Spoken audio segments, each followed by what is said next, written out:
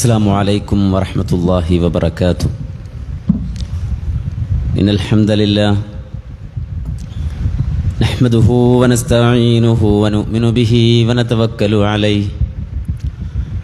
ونعوذ بالله من شرور أنفسنا ومن سيئات أعمالنا. من يهده الله فلا مضل له ومن يضلل فلا هادي له. أشهد أن لا إله إلا الله وحده لا شريك له وأشهد أن محمدا عبده ورسوله. أرسله بالهدى ودين الحق ليظهره على الدين كله ولو كره المشركون. اللهم صل على محمد وعلى آل محمد.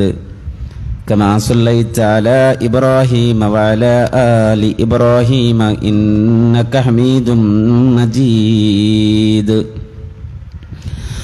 اللهم بارك على محمد وعلى آل محمد كما باركت على إبراهيم وعلى آل إبراهيم إنك حميد مجيد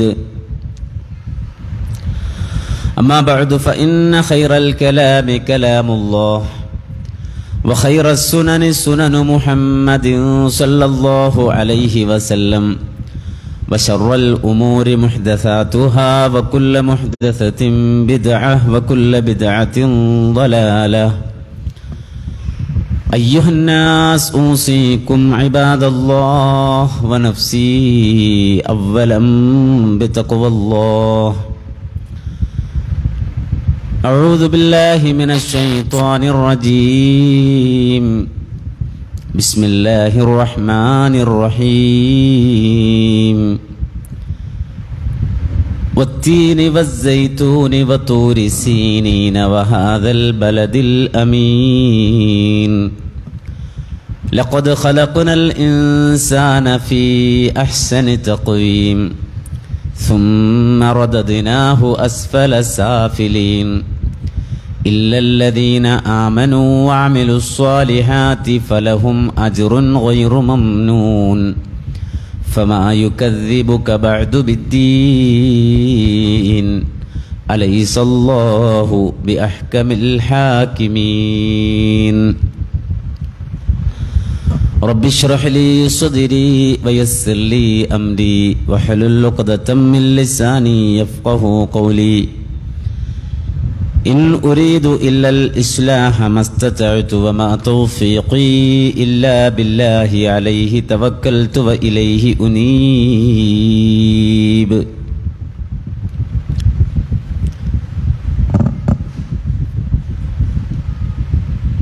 ബഹുമാന്യരായ പണ്ഡിതന്മാരെ സ്നേഹസമ്പന്നരായ സഹോദരങ്ങളെ സഹോദരികളെ അള്ളാഹുവിന്റെ മഹത്തായ അനുഗ്രഹത്താൽ ഈ സമയത്ത് ഇവിടെ ഒത്തൊരുമിക്കാനും അള്ളാഹുവിന്റെ ദീനുമായി ബന്ധപ്പെട്ട കാര്യങ്ങൾ പറയാനും കേൾക്കാനുമുള്ള തൗഫീഖ് അള്ളാഹു നമുക്കെല്ലാവർക്കും പ്രദാനം ചെയ്ത് അനുഗ്രഹിക്കുമാറാകട്ടെ. നമ്മുടെ ഈ ഇരുത്തം കൊണ്ട്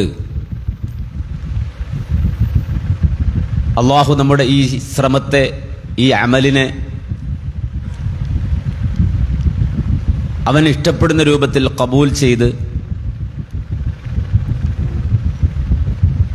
അതുവഴി ഐഹിക ലോകത്തെ നമ്മുടെ ജീവിതത്തിന് റബ്ബ് വെളിച്ചം നൽകുകയും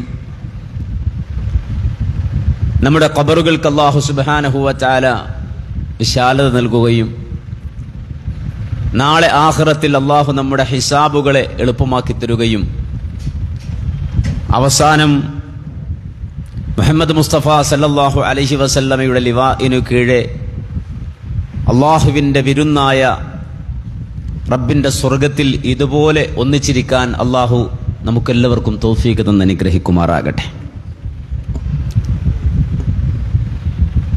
അഹ്ലൻ റമദാൻ നമ്മളെല്ലാ വർഷവും സാധാരണ നടത്തുന്ന ഒരു പരിപാടിയാണ്. എന്റെ ഓർമ്മ ശരിയാണെങ്കിൽ കഴിഞ്ഞ അഹ്ലൻ റമദാനിലും ഈ കുറ്റിപ്പുറം ഭാഗത്ത് ഞാൻ വന്നിട്ടുണ്ട് പ്രസംഗിച്ചിട്ടുണ്ട്.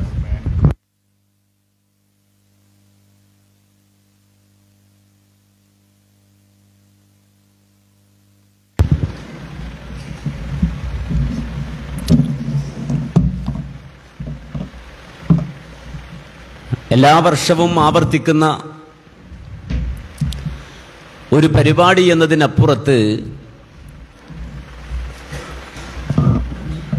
ഈ കുറ്റിപ്പുറം ഭാഗത്ത് പരിപാടിക്ക് വരുമ്പോൾ ഉണ്ടാകുന്ന മറ്റൊരു സവിശേഷത. ഇവിടെ വരുമ്പോൾ മിനയും മുസ്ദലിഫയും മതാഫും ഒക്കെയാണ് സാധാരണ എനിക്കോർമ്മ വരിക. കാരണം ഇവിടെ എത്തിയാൽ ഉണ്ട് അൻസാരിയുണ്ട് അബൂക്കറക്കുണ്ട് ഞങ്ങളൊക്കെ ഹജ്ജ് മേറ്റ്സുകളാണ്. ഏതാണ്ട് നാൽപ്പതോളം ദിവസം മക്കയും അതിന്റെ പരിസരമൊക്കെ ഇങ്ങനെ ചുറ്റിക്കറങ്ങി നടന്ന ആൾക്കാരാണ്. അതുകൊണ്ട് പഴയ ഈ ക്ലാസ്മേറ്റ്സിനെ കാണുമ്പോൾ നമ്മൾ കലാലയ ജീവിതത്തിലേക്ക് പോണതുപോലെ ഈ ഹജ്ജ് മേറ്റ്സിനെ കാണുമ്പോൾ നമ്മൾ പതുക്കെ മിനയിലേക്കും മുസ്ദലിഫയിലേക്കും ഹറമിലേക്കും ഒക്കെ ഇങ്ങനെ പോകും. ബാങ്ക് ഇവിടെ മാത്രമല്ല നീ പുറത്തുണ്ടാ?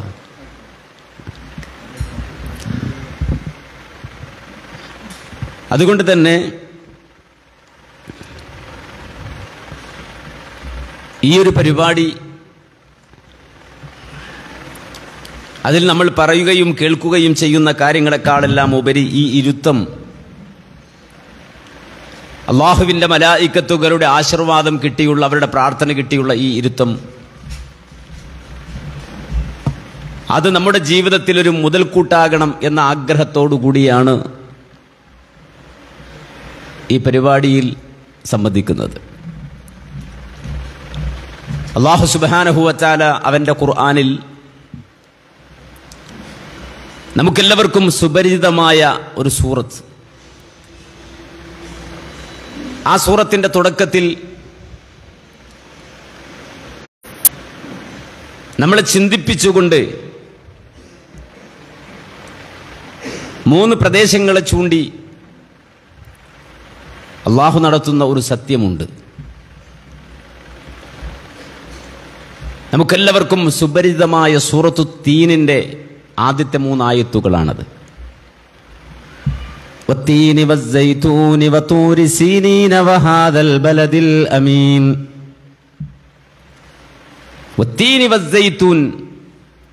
അത്തിയും ഒലീവും തന്നെയും സത്യം. തന്നെയും താഴ്വര തന്നെയും സത്യം. വഹാദൽ ബലദിൽ അമീൻ. നിർഭയത്വമുള്ള ഈ നാടു തന്നെയും സത്യം. അള്ളാഹുവിന്റെ കലാമാണ് വിശുദ്ധ ഖുർആൻ എന്നതിന്റെ ഏറ്റവും വലിയ തെളിവാണത്. ഖുർആൻ ഒരിക്കലും മുഹമ്മദ് നബിയുടെ വാക്കുകളല്ല. മുഹമ്മദ് റസൂലുല്ലാഹി സലാഹു അലഹി വസ്ല്ലമ സ്വന്തമായി മെനഞ്ഞുണ്ടാക്കിയതല്ല എന്നതിന്റെ തെളിവാണ് ഈ ആദ്യം നടത്തുന്ന ഈ സത്യങ്ങൾ. കാരണം അള്ളാഹുവിന്റെ റസൂൽ സല്ലല്ലാഹു അലഹി വസ്ലമ നമുക്ക് പഠിപ്പിച്ചു തന്ന ഒരു പാഠമുണ്ട്. മൻ ബിഗൈരിൽ മൻ ഹലഫ ഫഖദ് മൻ ഹലഫ ഫഖദ് അല്ലാത്തവരെ കൊണ്ട് നിങ്ങൾ സത്യം ചെയ്താൽ ഫഖദ് അശ്റക് അവൻ തീർച്ചയായും ശിർക്ക് ചെയ്തിരിക്കുന്നു. അപ്പോൾ ഒരു പടപ്പിനെ കൊണ്ടും സത്യം ചെയ്യാൻ പാടില്ല. അത് നമ്മുടെ മേൽ അള്ളാഹു സുബാനത്തല ഏൽപ്പിച്ച നിയമമാണ്. കബാലയത്തെ കൊണ്ടുപോലും നമ്മൾ സത്യം ചെയ്യാൻ പാടില്ല. അതുകൊണ്ടാണ് കബാലയവുമായി ബന്ധപ്പെടുത്തി സത്യം ചെയ്യുമ്പോൾ ബിറബിൽ കഅബ ഇങ്ങനെ പറയാ. കബാലയത്തിന്റെ റബ്ബിനെ തന്നെയും സത്യം. എന്ന് പറഞ്ഞാൽ ഒരു സൃഷ്ടിയെ കൊണ്ടും സത്യം ചെയ്യുക എന്നുള്ളത് മനുഷ്യന്റെ മേൽ അനുവദിക്കപ്പെട്ട കാര്യമല്ല. അതിന് ശിർക്കിന്റെ ഗണത്തിലാണ് മുഹമ്മദ് നബി സല്ലല്ലാഹു അലഹി വസ്ലമ പെടുത്തിയിട്ടുള്ളത്. അല്ലയല്ല അള്ളാഹു അല്ലാത്ത ശക്തി അള്ളാഹു അല്ലാത്ത ഇത്തരം കാര്യങ്ങളെ കൊണ്ട് സത്യം ചെയ്യാൻ അള്ളാഹുവിന് മാത്രമേ അവകാശമുള്ളൂ. അപ്പൊ ഖുർആൻ അള്ളാഹുവിന്റെതാണ് എന്നതിന്റെ ഒരു ദൃഷ്ടാന്തമാണത് ഒരു തെളിവാണത്. മാങ്കുണ്ടോ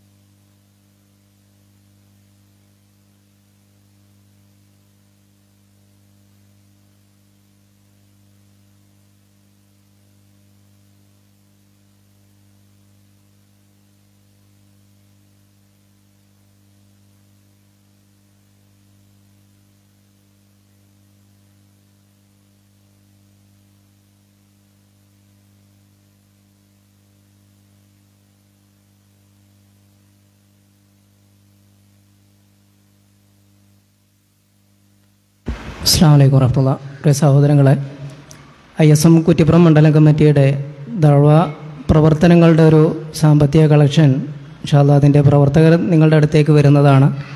ആ ഒരു സമയത്ത് നിസ്സീമമായി നിങ്ങളാൽ കഴിയുന്നത് നൽകി സഹായിക്കണമെന്ന് ഉണർത്തുകയാണ്.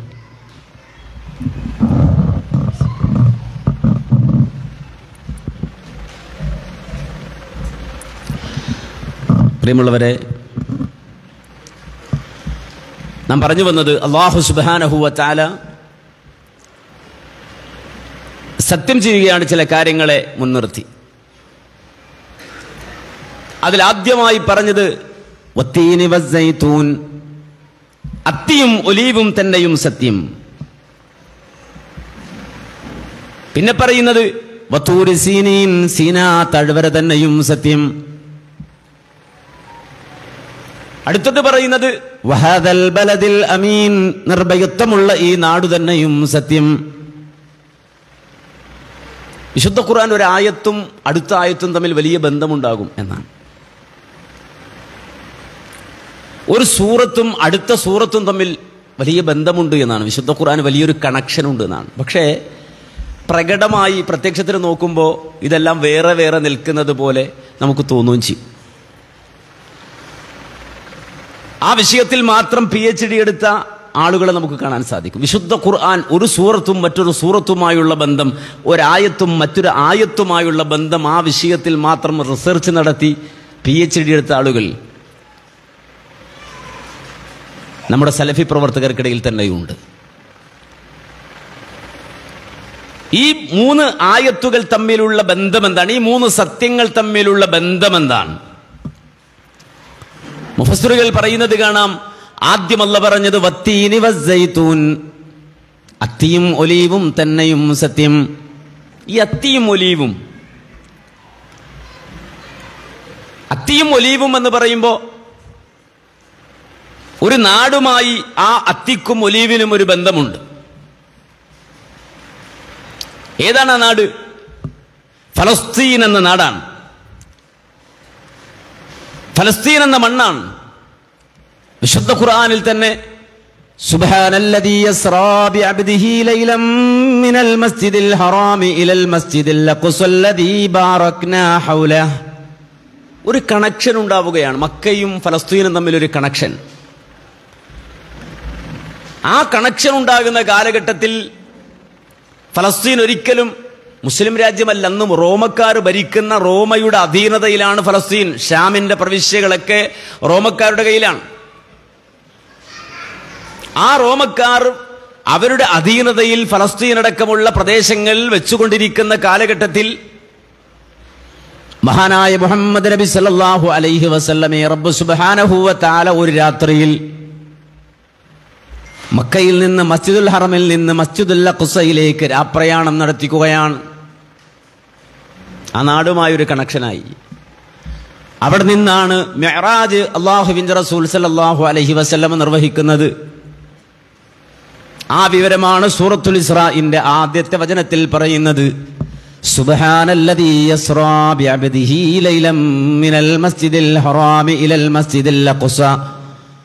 മസ്ജിദിൽ ഹറമിൽ നിന്ന് മസ്ജിദുൽ തന്റെ ദാസനെ രാപ്രയാണം നടത്തിച്ച അള്ളാഹു പരിശുദ്ധനാകുന്നു. ഇത് പറഞ്ഞിട്ട് അതിനോട് ചേർത്തുള്ള പറയുന്ന ഒരു വാചകം ആ മസ്ജിദുൽ അഖസയുടെ ചുറ്റും അല്ലാഹു ബർക്കത്ത് ചൊരിഞ്ഞിരിക്കുന്നു അനുഗ്രഹിച്ചിരിക്കുന്നു. മസ്ജിദുൽ അഖസയുടെ ചുറ്റുഭാഗവും ബർക്കത്ത് ചൊരിഞ്ഞിരിക്കുന്നു. എന്താണ് ആ ആയത്തിന്റെ അല്ലെങ്കിൽ ആ പരാമർശത്തിന്റെ തഫ്സീർ എന്ന് പണ്ഡിതന്മാർ വിശദീകരിക്കുമ്പോൾ പറയുന്നത് കാണാൻ കഴിയും. ആ പ്രദേശം മുഴുവനും നല്ല ഫലഭൂഷ്ടമായ മണ്ണാണ്. ധാരാളം മത്തി മുളക്കുന്ന മണ്ണാണ് ഒലീവ് മുളക്കുന്ന മണ്ണാണ്. നിരവധി അത്തിയും ഒലീവുമുള്ള മണ്ണാണ്. അപ്പോൾ ഈ അത്തിയും ഒലീവും എന്ന് പറയുമ്പോൾ അത് ഒരു ഭൂപ്രകൃതിയുമായി ബന്ധമുള്ള അതിന്റെ സൂചകങ്ങളാണ്. ആ മണ്ണിന്റെ പ്രത്യേകത ആ നാടിന്റെ പ്രത്യേകത എന്തെന്ന് ചോദിച്ചാൽ റൂഹുല്ലാഹ ഈസ അലൈഹിസ്ലാത്തു വസ്സലാമിന്റെ പ്രബോധന രംഗം അവിടെയായിരുന്നു. ആ നാടിന്റെ പ്രത്യേകത മഹാനായ ഈസ അലൈഹിസ്സലാത്തു വസ്സലാമിന്റെ പ്രബോധന മേഖല ഫലസ്തീനായിരുന്നു. ഇനി അടുത്തതോ? സീന താഴ്വര എന്ന് പറഞ്ഞാൽ അത് പറയുമ്പോൾ തന്നെ നമുക്കറിയാം ഖലീമുല്ലാഹി മൂസ അലൈഹിസ്സലാത്തു വസ്സലാം അള്ളാഹുവുമായി സംസാരിച്ചത് താഴ്വരയിൽ സീന താഴ്വരയിൽ വെച്ചുകൊണ്ടാണ് നമുക്കെല്ലാവർക്കും അറിയാവുന്നത് പോലെ ഫലസ്തീനിൽ നിന്ന് ഈജിപ്തിലേക്ക് തന്റെ കുടുംബവുമായി മൂസാ നബി അലൈഹിസ്സലാം കടന്നു വരുമ്പോൾ ഒരു വെളിച്ചം കാണുകയും വെളിച്ചം കണ്ട ഭാഗത്തേക്ക് മൂസാ നബി അലൈഹിസ്സലാം കടന്നു ചെല്ലുകയും ചെയ്തപ്പോ അള്ളാഹുവിന്റെ കൽപ്പന വരുന്നു.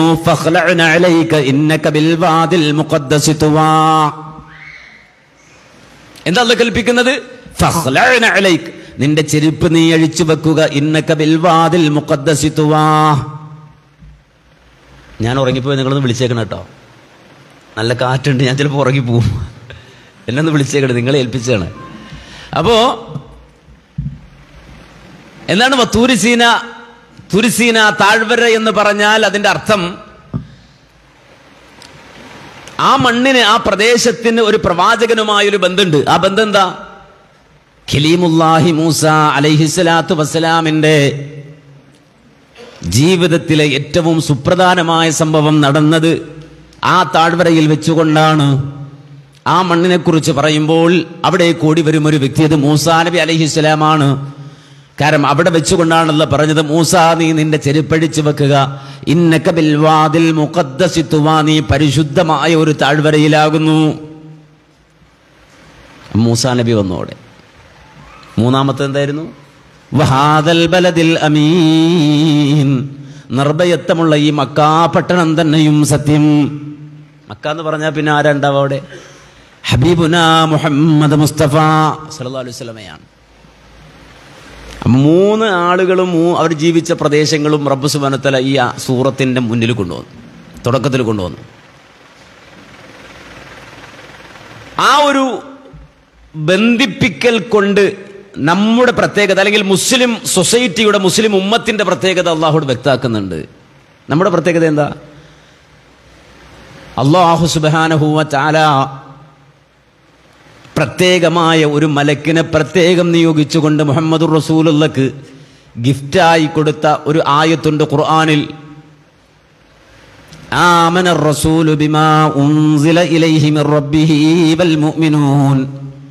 كل آمن بالله وملائكته وكتبه ورسله لا نفرق بين أحد من رسله الله പറയണം ആമന റസൂൽ മുഹമ്മദ് നബി വിശ്വസിച്ചു ബിമാ ഉൻസില ഇലൈഹി മിർ റബ്ബിഹി പ്രവാചകനായ മുഹമ്മദ് നബിക്ക് അള്ളാഹു അവതരിപ്പിച്ചു കൊടുത്ത ഇത് ഈ വഹിയിൽ അള്ളാഹുവിന്റെ റസൂല് വിശ്വസിച്ചു പോയിട്ടുണ്ട് നബി മാത്രമല്ല വൽ മുഅ്മിനൂൻ മുഅ്മിനുകളും വിശ്വസിച്ചിട്ടുണ്ട് കുല്ലുൻ അവരെല്ലാവരും ആമന ബില്ലാഹി വ റസൂലിഹി ആമന ബില്ലാഹി വ മലായിക്കത്തിഹി വ കുത്തുബിഹി വ അള്ളാഹുവിലും അതുപോലെ മലക്കുകളിലും കിതാബുകളിലും പ്രവാചകന്മാരിലും വിശ്വസിക്കുന്നവരാണ്.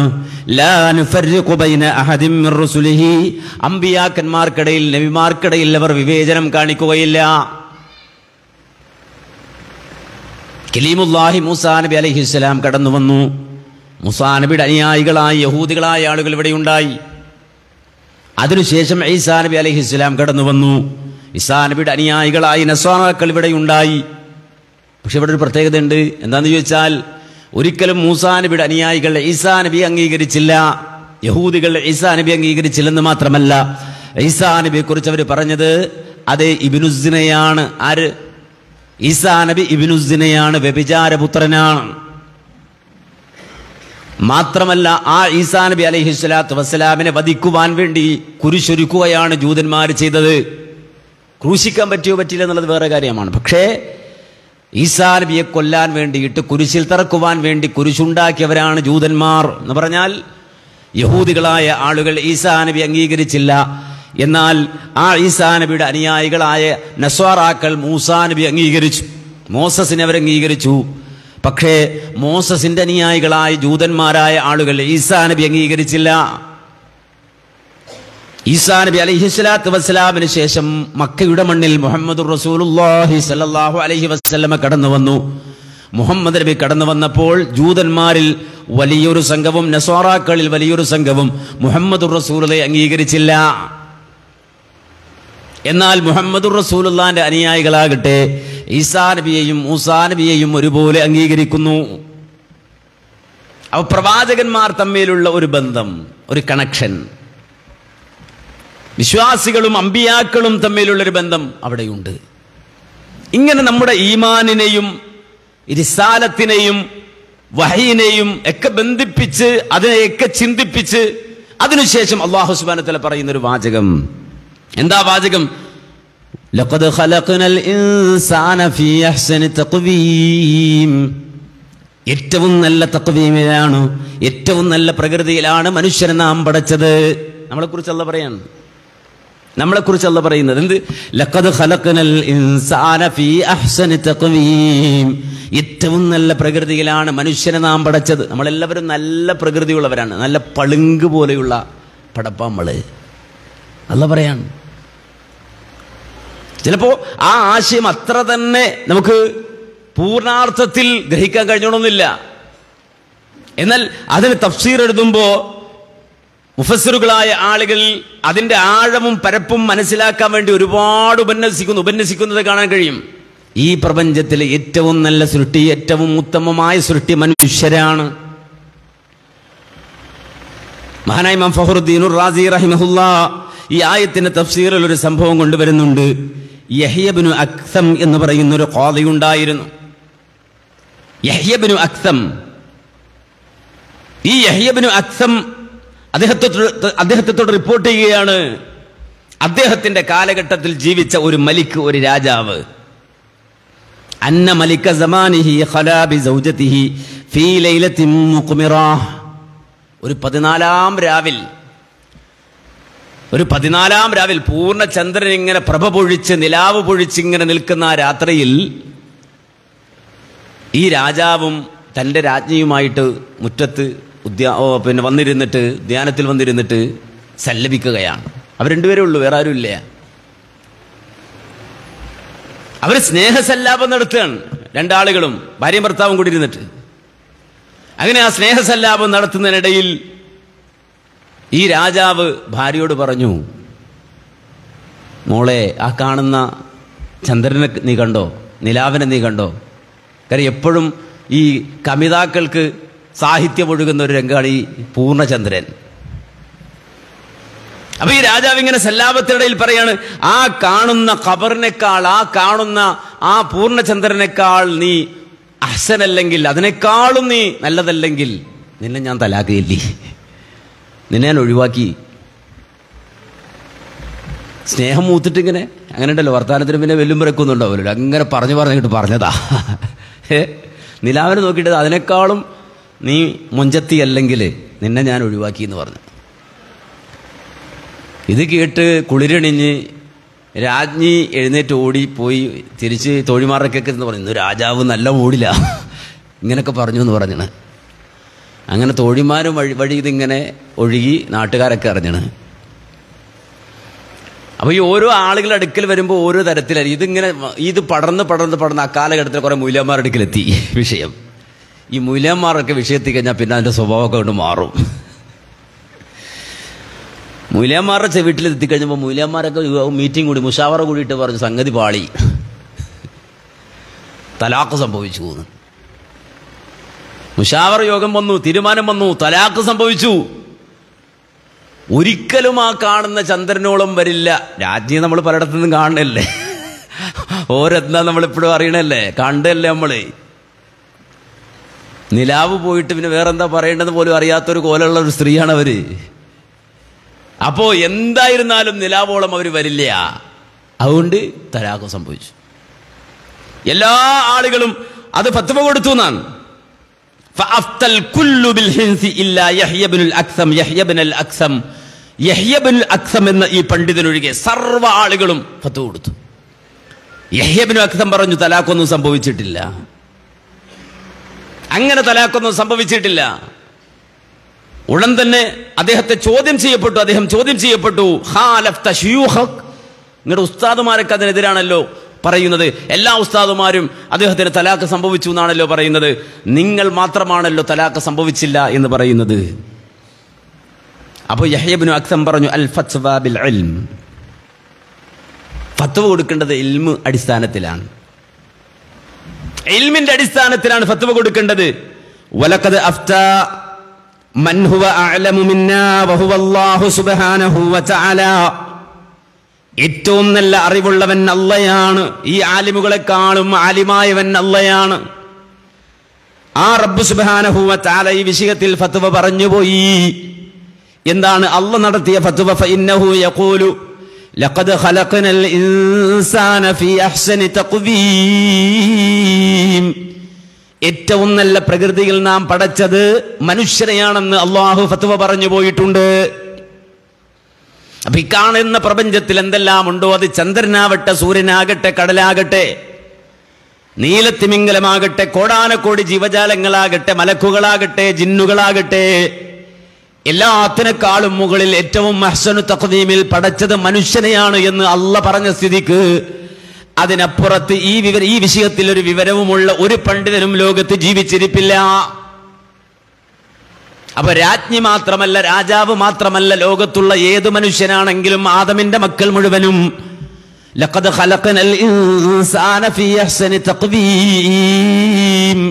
അള്ളാഹു ഏറ്റവും നല്ല പ്രകൃതിയിൽ പളുങ്ക് പോലെ പടച്ചവരാണ്.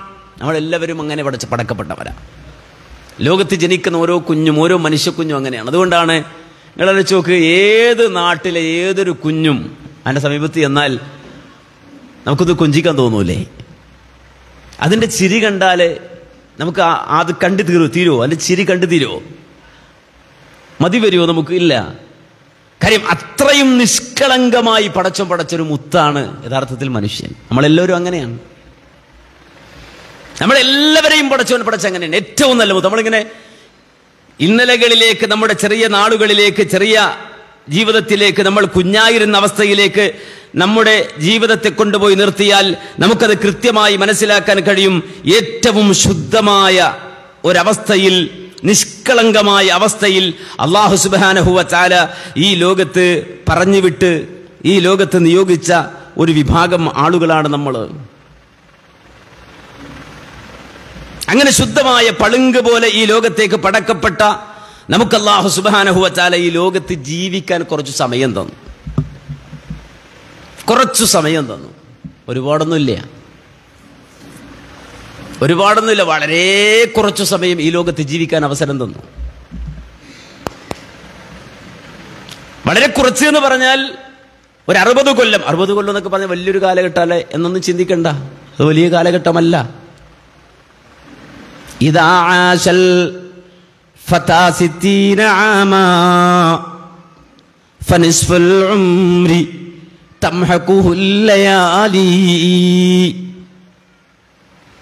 ഒരു മനുഷ്യൻ അള്ളാഹു സുബാനഹുവത്താല അറുപത് കൊല്ലക്കാലഘട്ടത്തെ ആയുസ് ഈ ദുനിയാവിൽ നൽകിയാൽ അറുപത് വയസ്സുവരെ ജീവിക്കാൻ അള്ളാഹു ഈ ലോകത്തേക്ക് അവസരം ഒരു മനുഷ്യന് നൽകിയാൽ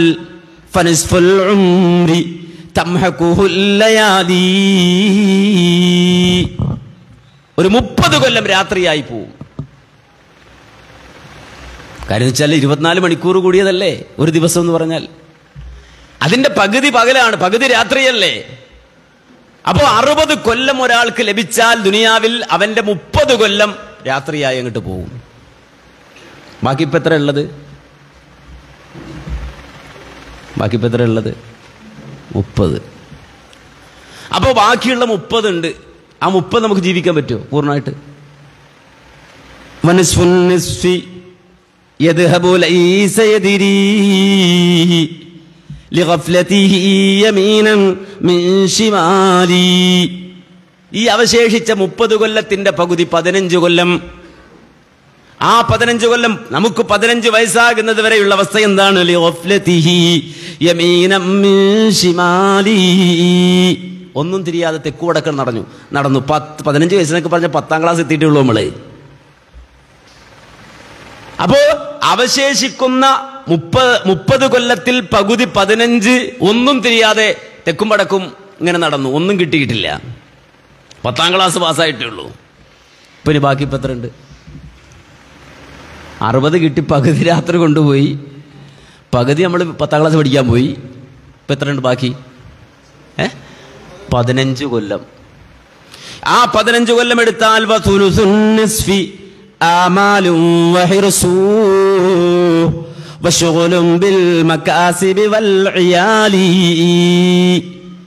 ആ പതിനഞ്ചിന്റെ മൂന്നിലൊന്ന് എന്ന് പറഞ്ഞാൽ അഞ്ചു കൊല്ലം. അഞ്ചു കൊല്ലത്തെ അവസ്ഥ എന്താണെന്നറിയോ? കൊതിയാണ്. ജോലിയില്ല. എവിടുന്ന ഒരു വരുമാനം ഉണ്ടാക്കുക? എന്ന് കേട്ടൊരു ബിസിനസ് തുടങ്ങുക മനസ്സിലായോ? ഇങ്ങനെ കൊതി ആമാൽ ഹെറുസ് ജോലി സമ്പാദിക്കണം ഓടണം ചാടണം ലൈസൻസ് എടുക്കണം. ഇങ്ങനെ ഓടി ഓടി എത്ര കൊല്ലം പോയി? അഞ്ചു കൊല്ലം പോയി ഇനിയിപ്പോൾ ബാക്കി എത്ര ഉണ്ട്? ഏ? പത്ത് കൊല്ലം എന്ന് പറഞ്ഞാൽ അമ്പത് വയസ്സായി പോ. ഈ പത്ത് കൊല്ലം ബാക്കിയുണ്ടെന്ന് പറഞ്ഞപ്പോൾ അമ്പത് വയസ്സായി നമുക്ക്. ഈ അമ്പത് വയസ്സായപ്പോൾ പ്രശ്നം എന്താ? വബാക്കിൽ ഉംരി അസ്ഖാമു വഹമ്മും വന്തിഖാലി. ഊരവേദന നടുവേദന കൊളസ്ട്രോൾ അറ്റാക്ക് ബ്ലോക്ക് ട്യൂമറ് നര. അമ്പതായി കഴിഞ്ഞപ്പോഴേ നാൽപ്പത് കഴിഞ്ഞപ്പോൾ തുടങ്ങി സ്റ്റാർട്ടായി. അമ്പതൊക്കെ ആയപ്പോൾ അങ്ങനെ ട്രൈ ട്രെയിനിൽ കയറിയിട്ടുണ്ട് എല്ലാം. നിങ്ങൾ ചിന്തിച്ചു നോക്ക്. അവസാനം എത്തിക്കഴിഞ്ഞപ്പോ അങ്ങനെ ഇതാ അവസാന റൗണ്ട് എത്തുമ്പോൾ ഒരു പത്ത് കൊല്ലം ബാക്കി നിൽക്കുമ്പോൾ നമ്മൾ വയ്യ വയ്യ വളയാൻ തുടങ്ങി നരക്കാൻ തുടങ്ങി ചുമക്കാൻ തുടങ്ങി. ഷുഗറായി കൊളസ്ട്രോളായി ആകെ പ്രശ്നമായി. അങ്ങനെ ഇതാ ചുമച്ചും കുറച്ചും പ്രയാസപ്പെട്ടും ഏന്തിയും വലഞ്ഞും എങ്ങനെ ഒരു പത്ത് കൊല്ലമൊക്കെ ഇങ്ങനെ ചെന്ന് നോക്കുമ്പോ.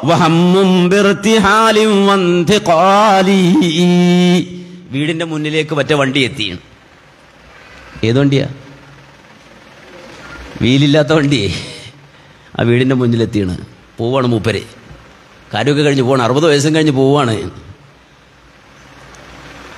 അപ്പൊ എത്ര ഇവിടെ നമ്മൾ ജീവിച്ചത്? എത്ര ഇവിടെ നമ്മൾ ജീവിച്ചത്? നമ്മൾ ചിന്തിക്കണേ ആലോചിക്കണം. വളരെ കുറച്ചു കാലം ഇവിടെ നമ്മൾ ജീവിച്ചു വളരെ കുറഞ്ഞ കാലം. ആ കുറഞ്ഞ കാലം കൊണ്ട് എന്താ ഇവിടെ സംഭവിച്ചെന്നറിയോ? പളുങ്ക് പോലെ പടച്ചവൻ പടച്ച മനുഷ്യരാകുന്ന ഞാനും നിങ്ങളും സുമ്മ റദദിനാഹു അസ്ഫല. ഈ കുറഞ്ഞ സമയം കൊണ്ട് ലോകത്തെ ഏറ്റവും വലിയ വടക്കുകളായി മനുഷ്യൻ മാറി അള്ള പളുങ്ക് പോലെ പടച്ച ഈ മനുഷ്യൻ പോകുന്ന നേരത്ത് നോക്കുമ്പോ അതിന്റെ അവസ്ഥ എന്താണ്? സുമ്മറദദിനാഹു അസ്ഫല സാഫിലീൻ അധമരിൽ അധമനായവൻ മാറി. കൊള്ളരുതാത്തവരിൽ കൊള്ളരുതാത്തവനായവൻ മാറി. മാത്രമല്ല അവന്റെ മനസ്സ് മുഴുവനും അതേ അങ്ങേറ്റം കരിപിടിച്ചുപോയി ഒരു നന്മയുമില്ലാത്ത ഒരു ഉറവയുമില്ലാത്ത. വിശുദ്ധ ഖുർആൻ പറഞ്ഞതുപോലെ കല്ലുപോലെയായി മാറി. നിഷ്കളങ്കമായി പടച്ചവൻ പടച്ച മനുഷ്യൻ. അവൻ ഏതാനും ദിവസങ്ങളും ആഴ്ചകളും ഈ ദുനിയാവിൽ ജീവിച്ചപ്പോ അവന് വന്ന മാറ്റമെന്തെന്ന് ചോദിച്ചാൽ അവന്റെ കൽബ്. പളുങ്ക് പോലെ ഉണ്ടായിരുന്നവന്റെ കൽബ്. ആ കൽബ് ഇതാ അതപ്പതിച്ച് അതപ്പതിച്ച്. അവസാനം അതേ കൽഹിജാറ കരിങ്കല്ലുകൾ നിങ്ങൾ കണ്ടിട്ടില്ലയോ? ആ കരിങ്കല്ല് പോലെ അവന്റെ ഹൃദയം മാറിപ്പോയി എന്ന് ഖുർആൻ അള്ളാഹുവിന്റെ പ്രയോഗം തന്നെ തുമ്മ കസത്ത് ഫഹിയ ഔ നിങ്ങളുടെ ഹൃദയം കട്ടിയായി പോയി. നിങ്ങളുടെ ഹൃദയം കടുകട്ടിയായി പോയി. ഫഹിയ കൽഹിജാറ അത് കരിങ്കല്ല് പോലെയായി പോയി. എന്നിട്ടല്ല പറയുന്നു അങ്ങനെ പറഞ്ഞാൽ പോരാ. ഔ അശദ്ദു കസ്വാ ആ കരിങ്കല്ലിനേക്കാൾ കട്ടിയായി പോയി. എന്താ അങ്ങനെ പറയാൻ കാരണം? കരിങ്കല്ലിനേക്കാൾ കട്ടിയായി പോയി എന്ന് പറയാൻ കാരണം. മിനൽ ഹിജാറത്തി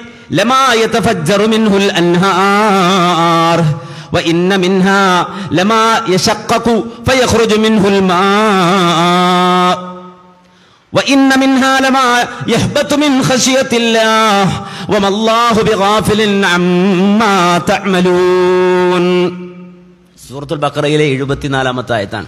ഇന്ന് നിങ്ങളുടെ ക്ലാസ്സിൽ വന്നിട്ട് എന്താ കിട്ടിയെന്ന് ചോദിച്ചാൽ നിങ്ങൾക്ക് പറയാനുള്ള ഒരു മുതൽ അതാണ് സൂറത്തുൽ ബക്കറയിലെ എഴുപത്തിനാലാമത്തെ ആയത്ത്. എന്ത് അല്ല പറയുന്നത്? കല്ലിനേക്കാൾ കട്ടിയായി എന്ന് പറയാൻ കാരണം ചില കല്ല് അതിന്റെ ഇടയിലൂടെ അരുവികൾ ഒഴുകി വരുന്ന നിങ്ങൾ കണ്ടിട്ടില്ലയോ? വാട്ടർഫാൾസുകൾ നിങ്ങൾ കണ്ടിട്ടില്ലയോ? ആ കല്ലിനിടയിലൂടെ വെള്ളമൊഴുകുന്നത് നിങ്ങൾ കണ്ടിട്ടില്ലയോ. ചില കല്ലുകൾ അവിടെ ഒന്നുമില്ലത് പരിക്കനാണെന്ന് തോന്നും. പക്ഷേ പെട്ടെന്നത് പൊട്ടിപ്പിളർന്നിട്ട് അതിന്റെ ഉള്ളിൽ നിന്ന് വെള്ളമൊഴുകുന്നത് നിങ്ങൾ കണ്ടിട്ടില്ലയോ? മാത്രമല്ല ഇന്ന മിൻഹാ മറ്റു ചില കല്ലുകൾ. അള്ളാനെ പേടിച്ചുരുണ്ട് വീഴുന്ന കല്ലുകളുണ്ട്. പടച്ചവനെ പേടിച്ചിട്ട് ഉരുണ്ട് വീഴുന്ന കല്ലുകളുണ്ട്. പക്ഷെ ഈ മനുഷ്യന്റെ കൽബ് ഈ മനുഷ്യൻ ഒരല്പം സമയം കൊടുത്തപ്പോൾ ഒരല്പം സ്വാതന്ത്ര്യം കൊടുത്തപ്പോൾ കുറച്ച് പൈസ കുറച്ച് പണം കുറച്ച് പറമ്പ് ജീവിക്കാൻ കുറച്ച് സൗകര്യം ഒരുപാടൊന്നുമില്ല വളരെ കുറച്ചാ കൊടുത്തത്. പക്ഷേ അത് മനുഷ്യന് കിട്ടിക്കഴിഞ്ഞപ്പോൾ പളിങ്ക് പോലെ പടച്ചവൻ പടച്ച ഈ മനുഷ്യൻ ഈ കറു കടു ഈ കടുത്ത കല്ലിനേക്കാൾ കരിങ്കല്ലിനേക്കാൾ കട്ടിയുള്ള മനസ്സിന്റെ ഉടമയായി മാറി. അങ്ങനെ തുമ്മറതതിനാഹു അസ്ഫല പറയാൻ അധമനിൽ അധമനായി മനുഷ്യൻ മാറി. അധമരിൽ അധമരായി. മനുഷ്യൻ മാറി എന്ന് അല്ല പറയുമ്പോൾ നമ്മളിന്ന് കാണുകയാണ് പ്രിയമുള്ളവരെ. അമുസ്ലിങ്ങളല്ല അല്ല രാമൻകുട്ടിയല്ല. നേരെ മറിച്ച് മുസ്ലിം നാമധാരികൾ ഇസ്ലാമിന്റെ പേരുള്ള മനുഷ്യർ. അവർ ചെയ്തു കൂട്ടുന്ന പ്രവർത്തനങ്ങൾ നമ്മൾ കാണാൻ ഒരൽപ്പം സൗകര്യം പഠിച്ചും കൊടുത്തു കഴിഞ്ഞപ്പോ എങ്ങനെയൊക്കെ അള്ളാഹുവിന്റെ ദീനിനെയും അള്ളാഹുവിന്റെ നിയമത്തെയും പടച്ചവൻ ഒരുക്കി തന്ന സൗകര്യങ്ങളെയും ദുരുപയോഗം ചെയ്യാമെന്ന് മനുഷ്യൻ ആലോചിച്ച് ആലോചിച്ച് ആലോചിച്ച് അതിന്റെ ഏറ്റവും അവസാനമാണ് നമ്മൾ ഈ കഴിഞ്ഞ ദിവസം കണ്ടത്. എന്താ കണ്ടത്? ഒരാൾ തന്റെ ഭാര്യയെ അല്ല ആദ്യം മുപ്പർ ഞാൻ രണ്ടാം കെട്ട് കെട്ടാൻ പോകണമെന്നാണ് പറഞ്ഞു രണ്ടാം കല്യാണം കഴിയും. അതിപ്പോൾ ചില ആളുകൾ അങ്ങനെ രണ്ട് കിട്ടുന്ന ആൾക്കാരുണ്ട്. അല്ല ഞാൻ എന്റെ ഭാര്യയെ തന്നെ കെട്ടാൻ പോവാണെന്ന് പറഞ്ഞു. അപ്പോൾ എന്താ? മുമ്പെപ്പോഴോ പിണങ്ങി പോയിട്ടുണ്ടാവും ഭാര്യ. തലാക്കിയിലിടും രണ്ടാമത് കെട്ടാൻ പോവായിരിക്കും. അല്ല. നേരെ മറിച്ച് മുമ്പ് ദീനിന്റെ നിയമപ്രകാരം കെട്ടിയ പെണ്ണിനെ ഒന്നുകൂടി ഒന്നുകൂടി മറ്റൊരു ആക്ട് പ്രകാരം കല്യാണം കഴിക്കാൻ പോവാണ്. വിവാഹം കഴിച്ച് നിലവിലുള്ള ഭാര്യയെ ഒന്നുകൂടി ഇന്ത്യൻ നിയമപ്രകാരം രണ്ടാമത് കല്യാണം കഴിക്കാൻ പോവാണ്. അത് വനിതാ ദിനത്തിൽ പ്രത്യേകമായ ന്യൂസ് വാല്യൂ ഉണ്ടാക്കിയിട്ട് ആ ദിവസത്തിൽ വിവാഹം കഴിക്കാൻ പോവുകയാണ്. എന്തേന് കാരണം പറഞ്ഞത്? എന്താ അതിന് കാരണം പറഞ്ഞത്?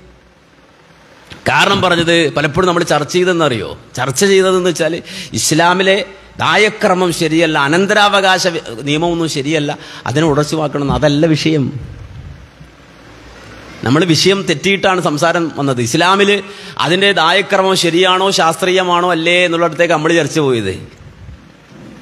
വിഷയമതല്ല നേരെ മറിച്ച് ഈ ഇസ്ലാമിക നിയമപ്രകാരം വിവാഹം കഴിച്ചതിലൂടെ തനിക്കുണ്ടായ മൂന്ന് പെൺമക്കൾ ആ മൂന്ന് പെൺമക്കളെ സംബന്ധിച്ചിടത്തോളം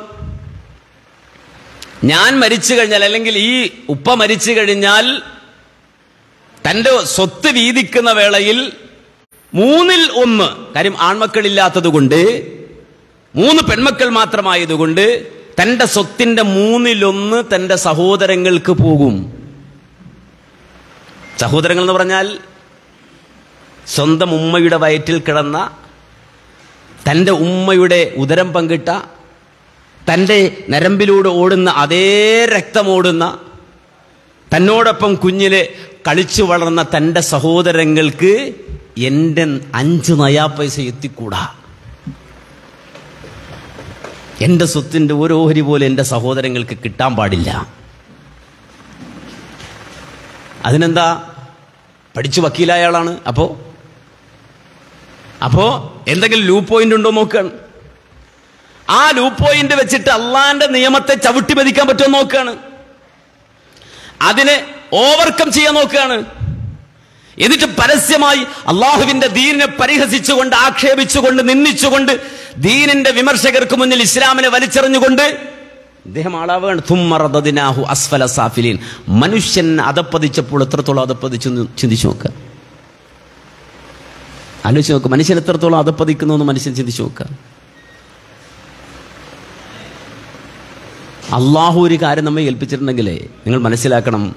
ഒന്നാമതായി റബ്ബ് പറഞ്ഞത് നിങ്ങളുടെ ദുനിയാവിൽ നിങ്ങൾ കൈകാര്യം ചെയ്യുന്നത് നിങ്ങളുടെയാണെന്ന് വെറുതെ തെറ്റിദ്ധരിക്കണ്ട കേട്ടോ. അല്ല പറഞ്ഞു അൽ മാലു മാലുല്ലാ നിങ്ങളുടെ കയ്യിലുള്ള പണമൊക്കെ പടച്ചവന്റെതാണ്.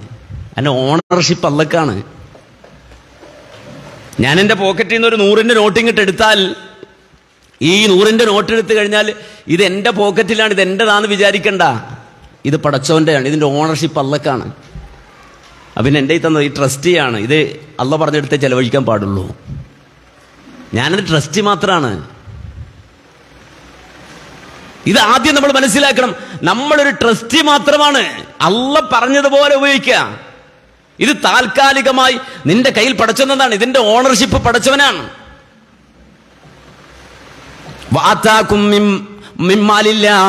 അല്ല പറഞ്ഞില്ല മിമ്മാലില്ലാഹി ആത്താക്കും. നിങ്ങൾക്ക് അല്ല നൽകിയ പണത്തിൽ നിന്ന് നിങ്ങൾ ചെലവഴിക്കുക. അല്ല നിങ്ങൾക്ക് തന്നതാണ്. അല്ല ഏൽപ്പിച്ചതാണ്.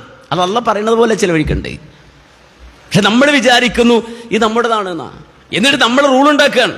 എന്നിട്ട് പറയാം ഞാൻ മരിച്ചാൽ എന്റെ സമ്പത്ത് മുഴുവനും എന്റെ മക്കൾക്കല്ലാതെ എന്റെ സഹോദരങ്ങൾക്ക് പോയി ചേരരുത് എന്ന് വിചാരിച്ചിട്ട് നമ്മൾ ആ നിയമത്തെ ചാടിക്കിടക്കാൻ ശ്രമിക്കുകയാണ്.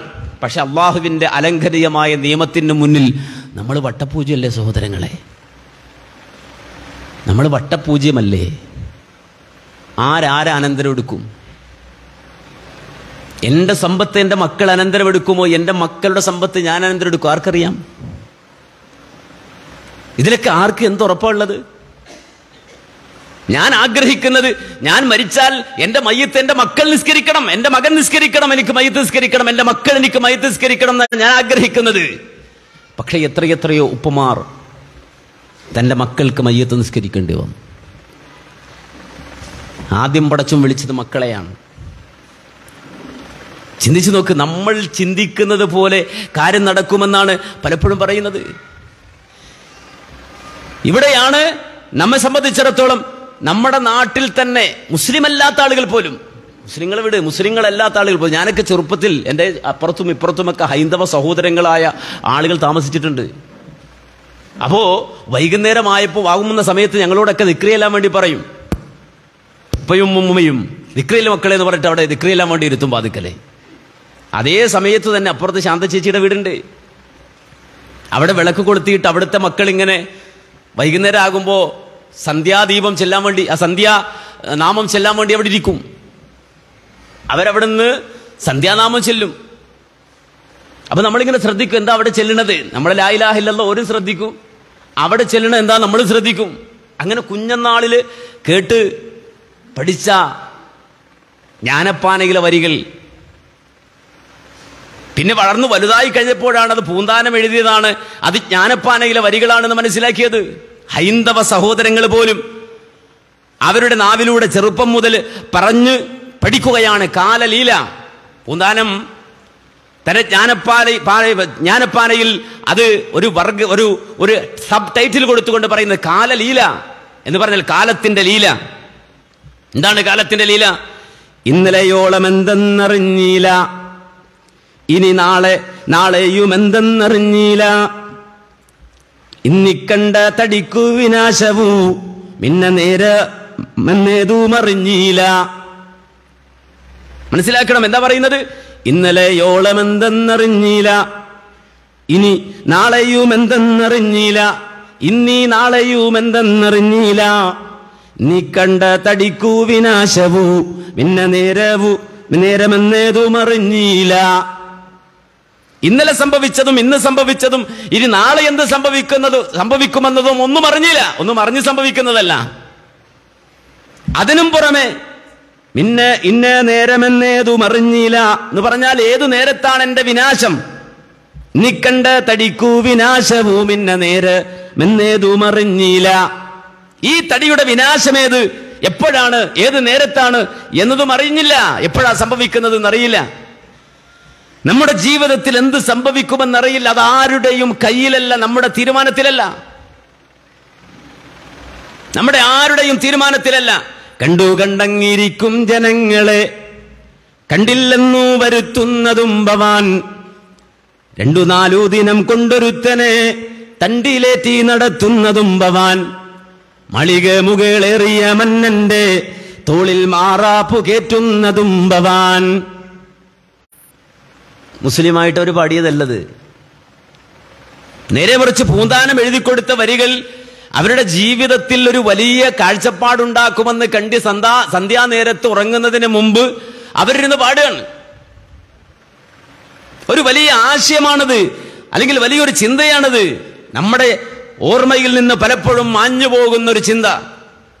കണ്ടു കണ്ടങ്ങിരിക്കും ജനങ്ങളെ കണ്ടില്ലെന്നു വരുത്തുന്നതും ഭവാൻ എത്ര മനുഷ്യർ നമ്മുടെ മുന്നിലൂടെ നടന്നുപോയ ആളുകൾ ജീവിച്ചു പോയ മനുഷ്യർ. അവരിപ്പോ കാണാനില്ല. അവർ നമ്മുടെ മുന്നിലില്ല. രണ്ടു ദിന രണ്ടു രണ്ടു നാലു ദിനം കൊണ്ടൊരുത്തനെ തണ്ടിലേറ്റി നടത്തുന്നതും ഭവാൻ. മനസ്സിലാക്കണം എല്ലാ സൗകര്യങ്ങളും ഉണ്ടായിരുന്നു. ഒരു ദിവസം അല്ലെങ്കിൽ ഒരു ജീവിതത്തിൽ ഒരു ആക്സിഡന്റ് ഒരു പ്രശ്നം മനുഷ്യ ജീവിതത്തിലേക്ക് വന്നാൽ മനസ്സിലാക്കണം. കഴിഞ്ഞ ദിവസം ഞാൻ ഒരാളെ കണ്ടു. അതിസമ്പന്നനാണ്. ഒരു ദിവസം ഇവിടെ ആണെങ്കിൽ അടുത്ത ദിവസം ദുബൈയിലാണ്. ഒരു ബിസിനസ്മാനാണ്. അദ്ദേഹം കഴിഞ്ഞ ദിവസം ഒരു കാറിൽ ഒരു പരിപാടിക്ക് എന്റെ മുന്നിൽ വന്നിരുന്നു. പരിപാടി കഴിഞ്ഞിട്ട് അദ്ദേഹത്തെ രണ്ടുപേര് പിടിച്ചുകൊണ്ട് പോകുന്നുണ്ട് എന്നിട്ട് പറഞ്ഞു എനിക്കൊന്ന് അദ്ദേഹത്തോട് സലാം പറയണം. അദ്ദേഹത്തെ ഒന്ന് വിളിച്ചടുത്തേക്ക് കൊണ്ടുവരുമോ? ഞാൻ ചെന്ന് നോക്കുമ്പോൾ കാഴ്ചയില്ല. ഏതാനും മാസങ്ങളായി ഷുഗർ കയറി കണ്ണിന്റെ കാഴ്ച മുഴുവൻ നഷ്ടപ്പെട്ടു പോയി കോടികൾ കയ്യിലുണ്ട്. സമ്പത്ത് കയ്യിലുണ്ട്. എന്തു പ്രയോജനം? മനുഷ്യന്റെ അവസ്ഥ ആ അവസ്ഥക്ക് മാറ്റം വരും ഏത് സമയത്തും. അതൊരു ബോധമാണ് അതൊരു ചിന്തയാണ് അതൊരു ഹക്കായ ചിന്തയാണ്. ജീവിതത്തിൽ പക്ഷേ മാളിക മുകളിൽ ജീവിക്കുന്ന സാഹചര്യം അള്ളാഹു തന്നെന്ന് വരാം. പക്ഷേ അള്ളാഹുവിനത് എടുത്തു മാറ്റാൻ നിമിഷങ്ങൾ മതി. സെക്കൻഡുകൾ മതി. മാറിമറിയും പക്ഷെ മനുഷ്യന് ഈ ജീവിത യാഥാർത്ഥ്യങ്ങളെ സംബന്ധിച്ചൊന്നും ചിന്തയില്ല. ഹക്കായ കാര്യങ്ങളെ സംബന്ധിച്ച് ചിന്തിക്കാതെ അഹങ്കരിച്ച് മനുഷ്യൻ ജീവിക്കാണ്. ഏതെല്ലാമോ സങ്കല്പങ്ങളിലൂടെ മനുഷ്യ ജീവിതം മുന്നോട്ട് പോയിക്കൊണ്ടിരിക്കുകയാണ്. അവിടെയാണ് അള്ളാഹു സുബാനഹുവ ചാല പറയുന്നത്. ഏറ്റവും നല്ല പ്രകൃതിയിൽ അഹ്സനു തക്വിയുമായി നാം പടച്ച മനുഷ്യൻ. ജീവിത യാഥാർത്ഥ്യങ്ങളെ സംബന്ധിച്ച് മറന്ന് വിസ്മരിച്ച് അധമരിൽ അധമരായി മാറിയിരിക്കുന്നു. എന്നിട്ട് അള്ളാഹു അതിനോട് ചേർത്ത് പറഞ്ഞ ഒരു കാര്യം എന്ത്? ഇല്ലല്ലദീന ആമനു വാമിലു സ്വാലിഹാതി ഫലഹും അജുറുൻ മംനൂൻ. ഈമാനും അമലുസ്വാലിഹാത്തും കൊണ്ട് ജീവിതത്തെ ധന്യമാക്കിയവരൊഴികെ അവർക്കാണ് പ്രതിഫലം. അവർക്കാണ് പ്രതിഫലം. നമ്മൾ ഉപ്പയും ഉമ്മയും ഒരുപോലെ ചിന്തിക്കേണ്ട കേസാണ് ഈ പറയുന്നത്. ബാപ്പയും മക്കളും ഒരുപോലെ ചിന്തിക്കേണ്ട കേസാണ് ഈ പറയുന്നത്. നമ്മൾ ചിന്തിച്ചു നോക്ക് നമ്മുടെ ജീവിത സാഹചര്യത്തിൽ നമുക്ക് ഈ ഒരു ഈമാനിന്റെ അമലുസ്വാലിഹാത്തിന്റെ ഒരു അവസ്ഥ രൂപപ്പെടുത്താൻ കഴിയുണ്ടോ നമ്മൾ ചിന്തിച്ചു നോക്കണം. ഇല്ല നമ്മൾ ട്രെൻഡുകൾക്ക് പിന്നാലെ പോവാണ്. ഇപ്പൊ സമൂഹം എങ്ങനെയാണ്? അതുകൊണ്ട് നമ്മൾ അങ്ങനെയായി. ഈ കാലത്ത് ഇങ്ങനെയൊക്കെ ജീവിക്കാൻ പറ്റുള്ളൂ. ഈ സമൂഹം അങ്ങനെ ഒഴുകാൻ അങ്ങനെ ചിന്തിച്ചു വന്നപ്പോൾ എന്താ സംഭവിച്ചതെന്നറിയോ? നമ്മുടെ കുടുംബങ്ങളിൽ നമ്മുടെ മക്കൾക്കിടയിൽ ഈമാനികമായ ഒരു നന്മയും അവശേഷിക്കാത്ത അവസ്ഥയായി. എട്ടാം ക്ലാസ്സുകാർ എട്ടാം ക്ലാസ്സിൽ പഠിക്കുന്ന പെൺകുട്ടിയുടെ ബാഗ് നോക്കുമ്പോൾ ലക്ഷങ്ങൾ വില വരുന്ന മയക്കുമരുന്നാണ്. കാരിയറാണ്. വിൽപ്പനക്ക് പോവാണ്. എന്തിനാണെന്നറിയോ? പൈസ വേണം പണം വേണം. എന്തിനാ പണം? തനിക്ക് ഇഷ്ടപ്പെടുന്നത് താൻ ആഗ്രഹിക്കുന്നത് വാങ്ങാൻ തന്റെ ആശകൾ തന്റെ ആഗ്രഹങ്ങൾ നിറവേറാൻ പണം വേണം. അതിന് വീട്ടിൽ നിന്ന് കിട്ടൂല. അതിന് കഞ്ചാവ് കടത്തണമെങ്കിൽ കഞ്ചാവ് മയക്കുമരുന്നെങ്കിൽ മയക്കുമരുന്ന് ഏതൊരു ഹറാമിന്റെ ലോകത്തേക്ക് പോകാനും മടിയില്ലാത്ത ഒരു തലമുറയായി നമ്മുടെ വീടകങ്ങളിലെ മക്കൾ മാറുകയാണ്. അതപ്പതിച്ചു പോകുന്ന തലമുറ. ധർമ്മനിഷ്ഠ ജീവിതത്തിൽ നിന്ന് പൂർണമായി ഒഴിവാക്കപ്പെടുന്ന തലമുറ അഹങ്കാരത്തിന്റെ കൊടുമുടികളായി ജീവിക്കുന്ന തലമുറ ആ തലമുറയെ പറഞ്ഞു ബോധ്യപ്പെടുത്തി ആ മക്കളെ പറഞ്ഞു ബോധ്യപ്പെടുത്തി ഈമാനിന്റെയും അമലുസ്വാലിഹാത്തിന്റെയും മേഖലകളിൽ അവരെ പരിപാലിച്ചു കൊണ്ട് പോകേണ്ട ബാധ്യത നമുക്കുണ്ട്. മനസ്സിലാക്കണം. ഞാൻ ഈ പറഞ്ഞ കാര്യം അവിടെ വെച്ചിട്ട് ഈ പറഞ്ഞ ഇത്രയും കാര്യം അവിടെ വെച്ചിട്ട് അത് മറന്നു പോകാതെ വിശുദ്ധ ഖുർആാനിലെ മറ്റു രണ്ടായത്തിലേക്കൊന്ന് പോകണം. ആ ആയത്തിൽ പോയിട്ട് ഇങ്ങോട്ട് വരണം നമ്മൾ ആർക്കാണ് സ്വർഗം? ആർക്കാണ് നരകം? രണ്ട് ചോദ്യമാണ്. ആർക്കാണ് സ്വർഗം? ആർക്കാണ് നരകം എന്ന ചോദ്യത്തിന് വിശുദ്ധ ഖുർആാനിൽ അള്ളാഹു സുബാനഹുവച്ചാല ഉത്തരം പറഞ്ഞിരുന്നുണ്ട് കൃത്യമായി. എന്തേ അല്ല പറഞ്ഞിരുന്നു ഉത്തരം? ആർക്കാണ് സ്വർഗം എന്ന ചോദ്യത്തിന്റെയും ആർക്കാണ് നരകം എന്ന ചോദ്യത്തിന്റെയും ഉത്തരമായി ഖുറാൻ പറയുന്നത് എന്താ?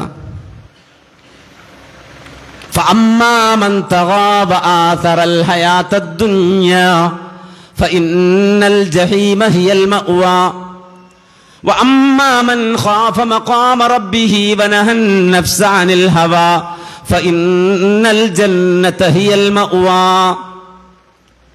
അള്ളാഹുവിന്റെ കലാമുകൾ നമ്മുടെ കണ്ണിനും മനസ്സിനും തരുന്ന മിഴിവുണ്ട്.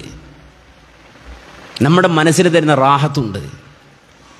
നമ്മുടെ വിഷനും മിഷനും എങ്ങനെയായിരിക്കണം നമ്മുടെ നിലപാട് എന്തായിരിക്കണമെന്ന് കൃത്യമായി ബോധ്യപ്പെടുത്തുന്ന ചില ഭാഗമുണ്ട് ഖുറാനിൽ അവിടെയാണ് അള്ളാഹു സുബാനഹുവത്താൽ ആർക്കാണ് നരകം എന്ന ചോദ്യത്തിന് ഉത്തരം പറയാൻ എന്താണ്? അള്ള പറഞ്ഞ ഉത്തരം എന്നറിയോ?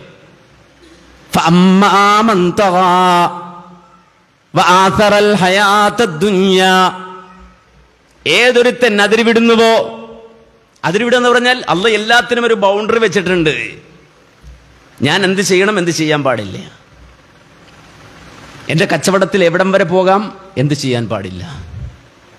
എന്റെ സംസാരത്തിൽ എത്ര ചെയ്യാം എന്ത് ചെയ്യാൻ പാടില്ല. എന്റെ നോട്ടത്തിൽ എന്തൊക്കെ എനിക്ക് കാണാം എന്ത് കാണാൻ പാടില്ല. ഇങ്ങനെ എല്ലാ രംഗത്തും അള്ളാഹു ഒരു ബൗണ്ടറി വരച്ചു വെച്ചിട്ടുണ്ട് നമുക്ക്. എന്നാൽ ആ ബൗണ്ടറിയൊക്കെ ചവിട്ടിപ്പൊളിച്ച് അപ്പുറം ചാടുന്നവൻ അതാണ് ഈ തുകയാൻ എന്ന് പറഞ്ഞാൽ. അതിർവിടുക തഗാ, അതിർ വിടുക അതിര് വിടുക. വെച്ചാൽ അതിരിനപ്പുറം ചാടുക. എല്ലാത്തിനും ഒരു ബൗണ്ടറി ഉണ്ട്. ഇപ്പൊ ഒരു വാഹനം ഓടിക്കുമ്പോൾ ഓടിക്കുന്ന ആൾക്കൊരു സൈഡ് ഉണ്ട് ആ സൈഡിലൂടെ അയാൾ പോകണം അപ്പുറത്തെ സൈഡ് ചാടിയാലോ? അപകടമാണ്. നമ്മുടെ വീടിന് ഒരു അതിരുണ്ട്. അതിനപ്പുറം ചാടിയാലോ? മതിൽ ചാടിയാലോ? അത് ചെയ്യാൻ പാടില്ല. അനുവാദമില്ലാതെ മറ്റൊരുടെ പറമ്പിലേക്ക് ചാടാൻ പാടില്ല. ഈ രൂപത്തിൽ നമ്മുടെ ജീവിതത്തിന്റെ ചെറുതും വലുതുമായ മുഴുവൻ കാര്യങ്ങളിലും അതിരുകളുണ്ട്. ആ അതിര് കിടക്കുന്ന ആളുകൾ പലപ്പോഴും മനുഷ്യൻ അതിര് കിടക്കാൻ തോന്നുന്നത് എന്തുകൊണ്ടാണെന്നറിയോ. ഐഹിക ലോക ജീവിതത്തിന് അമിതമായ പ്രാധാന്യം കാണുക. ഇവിടെ സമ്പാദിക്കണം ഇവിടെ ഉണ്ടാകണം. ഇവിടെ ഇവിടെ ഇവിടെ ഈ ദുനിയാവിൽ സമ്പാദിക്കുക ദുനിയാവ് മനുഷ്യന്റെ മനസ്സിന്റെ ഉള്ളിലേക്ക് ഇങ്ങനെ വലിയൊരു ത്വരയായി ദുരയായി അതിങ്ങനെ കടന്നു വരും. സമ്പത്ത് പണം. അങ്ങനെ വരുമ്പോൾ മനുഷ്യൻ ഏറ്റവും വൃത്തികെട്ടവനായി മനുഷ്യൻ മാറും. ഒരു നന്മയും നേരത്തെ പറഞ്ഞില്ലേ ഒരു നന്മയുമില്ല. പാറക്കല്ലിനേക്കാൾ കട്ടിയായ കൽബിന്റെ ഉടമയായി മനുഷ്യൻ മാറും. ഒരു ദാക്ഷിണ്യം ഉണ്ടാവില്ല. ഈ പ്രൊഫഷണൽസ് ഒക്കെ പഠിപ്പിക്കണ കണ്ടിട്ടില്ലേ? ഈ ബിസിനസ് ബിസിനസ് പ്രൊഫഷണൽസ് ഒക്കെ നിങ്ങൾ പോയിട്ടില്ല? എം ബി ഒക്കെ പഠിക്കുന്ന ആൾക്കാർ ബിസിനസ് പ്രൊഫഷണൽസ് ഒക്കെ പഠിപ്പിക്കുമ്പോൾ തീരെ കരുണ പാടില്ല എന്നാണ് പഠിപ്പിക്കുന്നത് അടിസ്ഥാനം നിങ്ങളുടെ ബിസിനസ് വിജയിക്കണോ? തീരെ കരുണ എന്നുള്ളത് പാടില്ല. പ്രൊഫഷണലിസം എന്നൊക്കെ എന്റെ പേര് പറയാ. കാരണം ദുനിയാവ് അങ്ങനെ സമ്പാദിക്കാൻ പറ്റുള്ളൂ. ഈ ദുനിയാവിനോടുള്ള യഥാർത്ഥ ആ ദുനിയാവിനോടുള്ള ആർത്തി മനുഷ്യനങ്ങോട്ട് കൂടും. അങ്ങനെ കൂടിക്കഴിഞ്ഞാൽ പിന്നെ ഉപ്പയെ വേണ്ട ഉമ്മയെ വേണ്ട മക്കളെ വേണ്ട ഭാര്യ വേണ്ട കൂട്ടുകുടുംബാദികളെ വേണ്ട സഹോദരങ്ങളെ വേണ്ട ബന്ധങ്ങൾക്ക് വിലയില്ല. ഇവനിങ്ങനെ പായണം അങ്ങോട്ടും ഇങ്ങോട്ടും. ഇസാറത്തു ദുഞ്ഞ ഐഹിക ലോകത്തോടുള്ള ഭ്രമം ഈ മനുഷ്യന്റെ മനസ്സിൽ ഇങ്ങനെ കയറാണ് ആരെയും കൊന്നവൻ പൈസ ഉണ്ടാക്കും. ആരെയും കൊല പിടിച്ചിട്ട് അവൻ പണം ഉണ്ടാക്കും. ആരെയും വെട്ടിക്കളഞ്ഞിട്ട് അവൻ നേടിയെടുക്കും. കാര്യം ദുനിയാവ് വേണം. ആ ദുനിയാവിനോടുള്ള ആർത്തി മനുഷ്യന് വന്നു കഴിയുമ്പോൾ അവൻ എല്ലാ നിയമങ്ങളെയും കാറ്റിൽ പറത്താൻ തുടങ്ങും. എന്നിട്ടാണല്ലോ പറയുന്നത് ഈ രണ്ട് സ്വഭാവമാർക്കുണ്ടോ? അവന്റെ സങ്കേതമാകുന്നു നരകം അവനുള്ളതാകുന്നു നരകം. എന്നാൽ സ്വർഗമാര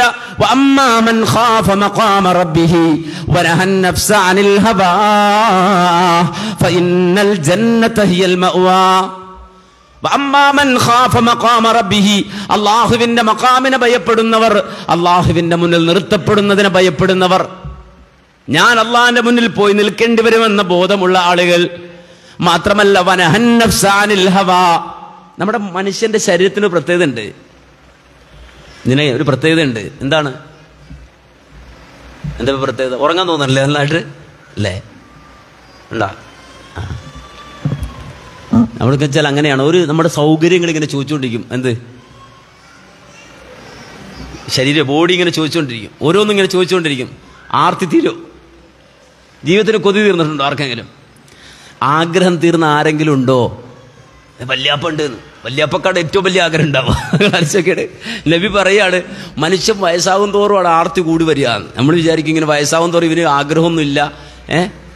ഈ ചെറുപ്പക്കാർക്ക് ആഗ്രഹം എന്നൊക്കെ വെറുതെയാണ് കേട്ടോ വല്യാപ്പാന്റെ ആഗ്രഹം ഇവനെക്കാളും മൂന്നിരട്ടി ആഗ്രഹം ഉണ്ടാവും മാർക്ക്.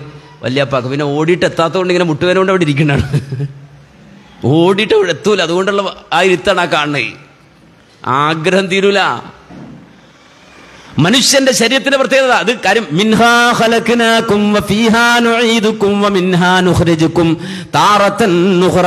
ഇത് മണ്ണാണ്. മണ്ണിന്റെ സ്വഭാവം കാണിക്കും.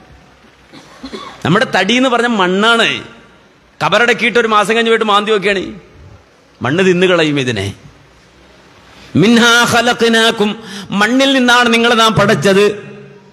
മാത്രമല്ല ആ മണ്ണിലേക്ക് തന്നെയാണ് നിങ്ങൾ മടങ്ങുന്നത്. ആ മണ്ണിൽ നിന്ന് തന്നെയാണ് രണ്ടാമത് നിങ്ങളെ പുറത്തു കൊണ്ടുവരുന്നത്. ഖുറാൻ പറയാണ്. അപ്പൊ ഈ മണ്ണിന്റെ സ്വഭാവമുള്ള ഈ ശരീരം ഇങ്ങനെ ഓരോന്ന് കുതിക്കും. സൗകര്യങ്ങൾ സൗകര്യങ്ങൾ പുതിയ അപ്ഡേഷനുകൾ ഇങ്ങനെ ചോദിച്ചുകൊണ്ടിരിക്കും പോരാ പോരാ പോരാ പോരാ അടുത്തത് അടുത്തത്. അങ്ങനെ ആ മനുഷ്യനെ ഈ ദുനിയാവ് ഇങ്ങനെ ആർത്തിയോട് ഇങ്ങനെ കൊണ്ടു നടക്കും. പക്ഷെ ഇവിടെ ഈ ചോദിക്കുന്നതൊക്കെ അങ്ങോട്ട് കൊടുക്കുക എന്ന് പറഞ്ഞാൽ വലിയ പ്രശ്നമാണ്. ആർക്ക്? ശരീരം ചോദിക്കണൊക്കെ അങ്ങോട്ട് കൊടുക്കുക എന്ന് പറഞ്ഞാൽ വലിയ പ്രയാസമാണ് പലതും ഇങ്ങനെ ചോദിക്കും. അതിന് ഹലാലും ഇല്ല ഹറാമും ഇല്ല ഹക്കും ഇല്ല ബാത്തിലും ഇല്ല ഇങ്ങനെ കാണുന്നൊക്കെ ചോദിക്കുകയാണ്. ആര്? ശരീരം. അപ്പൊ ഒന്ന് പിടിച്ചു നിർത്തണം. അവിടെ നിൽക്കാൻ പറ്റില്ല. കാര്യം അള്ളാന്റെ മുന്നിൽ ഒരു നിർത്തണ്ടേ? നീ ചോദിക്കണൊക്കെ അവിടെ തരാൻ പറ്റില്ല. സ്വന്തം ശരീരം ആഗ്രഹിക്കുന്ന ആഗ്രഹങ്ങളെ തടയിട്ടുകൊണ്ട് അള്ളാഹുവിന്റെ മക്കാമിന് മുൻതൂക്കം നൽകുന്ന ആളുകൾ. അവനുള്ള സങ്കേതമാകുന്നു സ്വർഗം. മനസ്സിലാക്കണം. ഈ ഒരു അവസ്ഥയുണ്ട് ഈ ലോകത്ത് നമ്മൾ ജീവിക്കുമ്പോൾ അതുകൊണ്ട് അള്ളാഹു സുബാനത്തല നല്ല ഒരു പരിശീലനം നമുക്ക് തന്നു. സ്വർഗം നേടാനുള്ള പരിശീലനം അള്ളാഹു നമുക്ക് തരികയാണ്. ആ പരിശീലനമാണ് പരിശുദ്ധമായ റമദാനിന്റെ പകലുകളിലും രാത്രികളിലും നാം നിർവഹിക്കുന്നത്. എന്ത് അല്ല പറഞ്ഞത് പരിശുദ്ധമായ റമദാൻ നിങ്ങളുടെ ജീവിതത്തിലേക്ക് കടന്നു വന്നാൽ ഈ നോമ്പിന്റെ പ്രത്യേകത എന്താണെന്ന് ചോദിച്ചാൽ അതെ അള്ളാഹുവിന് വേണ്ടി ബിൽ വസാഇരിൽ മുഫത്തിറാത്ത് മിൻ തുലൂഇൽ ഇലാ നോമ്പെന്ന് പറഞ്ഞാൽ നീ പിടിച്ചു വെക്കലാണ് അല്ലെങ്കിൽ നിയന്ത്രിക്കലാണ്. നിന്റെ തടിയെ നിന്റെ ശരീരത്തെ നിയന്ത്രിക്കലാണ് അനിൽ അക്കിലി വശുർബി വസാഇരിൽ മുഫത്തിറാത്ത്. അതെ അതെ കുടിക്കുന്നതിൽ നിന്ന് കഴിക്കുന്നതിൽ നിന്ന് നോമ്പ് മുറിക്കുന്ന ഏതെല്ലാം കാര്യങ്ങളുണ്ടോ ആ കാര്യങ്ങളിൽ നിന്നെല്ലാം നീ ഇംസാഖ് കൈവരിക്കലാണ്. നീ നിന്നെ പിടിച്ചു വെക്കലാണ് മിൻ തുലൂഇൽ ഫജ്രി. അതെ സൂര്യനുദിച്ചത് മുതൽ സൂര്യനുദിച്ചത് മുതൽ ഇലാ ഉറൂബി ശംസി. സൂര്യൻ അസ്തമിക്കുന്നത് വരെ എന്ന് പറഞ്ഞാൽ ആ പകലിൽ നിന്റെ ശരീരം പലതും ഇങ്ങനെ ചോദിക്കുന്നു. അനിവാര്യമായ അടിയന്തരമായ വെള്ളം ചോദിക്കുന്നു. അനിവാര്യമായ അടിയന്തരമായ ഭക്ഷണം ചോദിക്കുന്നു. ആര്? ആരാ ചോദിക്കുന്നത്? ശരീരം. ഒറ്റ വാക്കേ ഉള്ളൂ. എന്ത്? തരില്ല. ദാഹിക്കുന്നു വെള്ളമില്ല. വിശക്കുന്നു ഭക്ഷണമില്ല. തനിക്കിതാ ലൈംഗികമായ അഭിനിവേശമുണ്ട് ഇപ്പൊ നടക്കൂല. ഈ രൂപത്തിൽ സ്വന്തം ശരീരത്തെ പൂർണമായി നിയന്ത്രിച്ച് മനുഷ്യന്റെ ഉള്ളിലുള്ള റൂഹിനെ ആത്മാവിനെ അതിനെ പരിപോഷിപ്പിച്ച് പുറത്തു കൊണ്ടുവരിക നമ്മൾ വിചാരിച്ച നമ്മൾ ഈ തടി മാത്രമാണ് എന്നാണ്. നമ്മുടെ നെഫ്സ് മാത്രം ഈ ശരീരം മാത്രമാണെന്ന് പലപ്പോഴും വിചാരിച്ചതല്ല.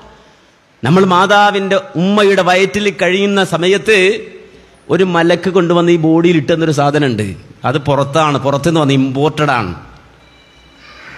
ദുനിയാവ് ഇവിടെ മണ്ണിൽ നിന്ന് ഉണ്ടാക്കിയല്ല കുഴച്ചുണ്ടാക്കിയ സാധനമല്ല അത് ഇവിടെ ഏതെങ്കിലും ഒരു മൾട്ടി സ്പെഷ്യാലിറ്റി സൂപ്പർ ഹോസ്പിറ്റലിൽ പോയിട്ട് സൂപ്പർ പിന്നെ സ്പെഷ്യാലിറ്റി ഹോസ്പിറ്റലിൽ പോയിട്ട് നോക്കിയാൽ കിട്ടുന്ന സാധനമല്ല അത്. മലക്ക് കൊണ്ടുവന്ന് അതിന്റെ ഉള്ളിലിട്ടുന്ന സാധനമാണ് അതിന്റെ പേരാ റൂഹ്. എല്ലാവരും ഇങ്ങോട്ട് വന്നപ്പോൾ അവിടെ ചായ വെച്ചിട്ടുണ്ട് പഴംപൊരി വെച്ചിട്ടുണ്ട്. കഴിച്ചാ? ചായം പഴംപൊരി കഴിച്ചാ? ഇല്ലേ? പൂർണ കഴിച്ചാളേ.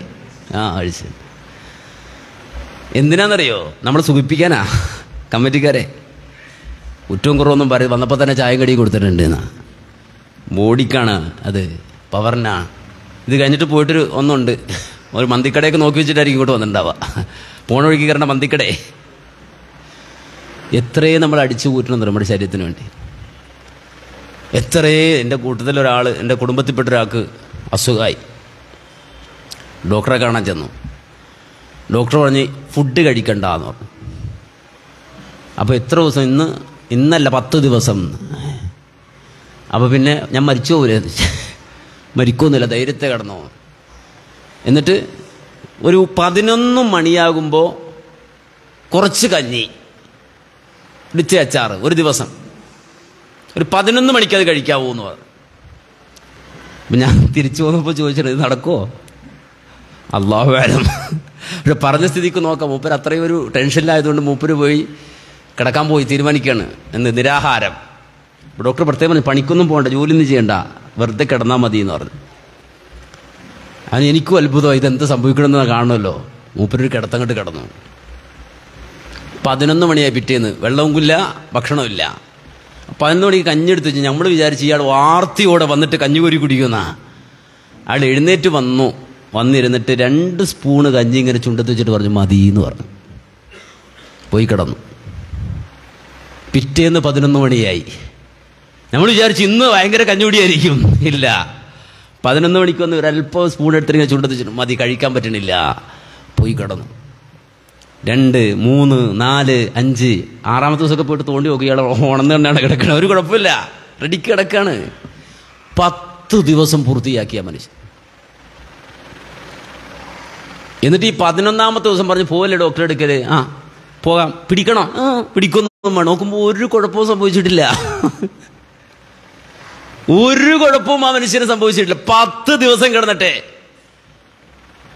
സംഭവം എന്താന്ന് ചോദിച്ചാൽ മൂ അടിച്ച് കയറ്റിരിക്കണേ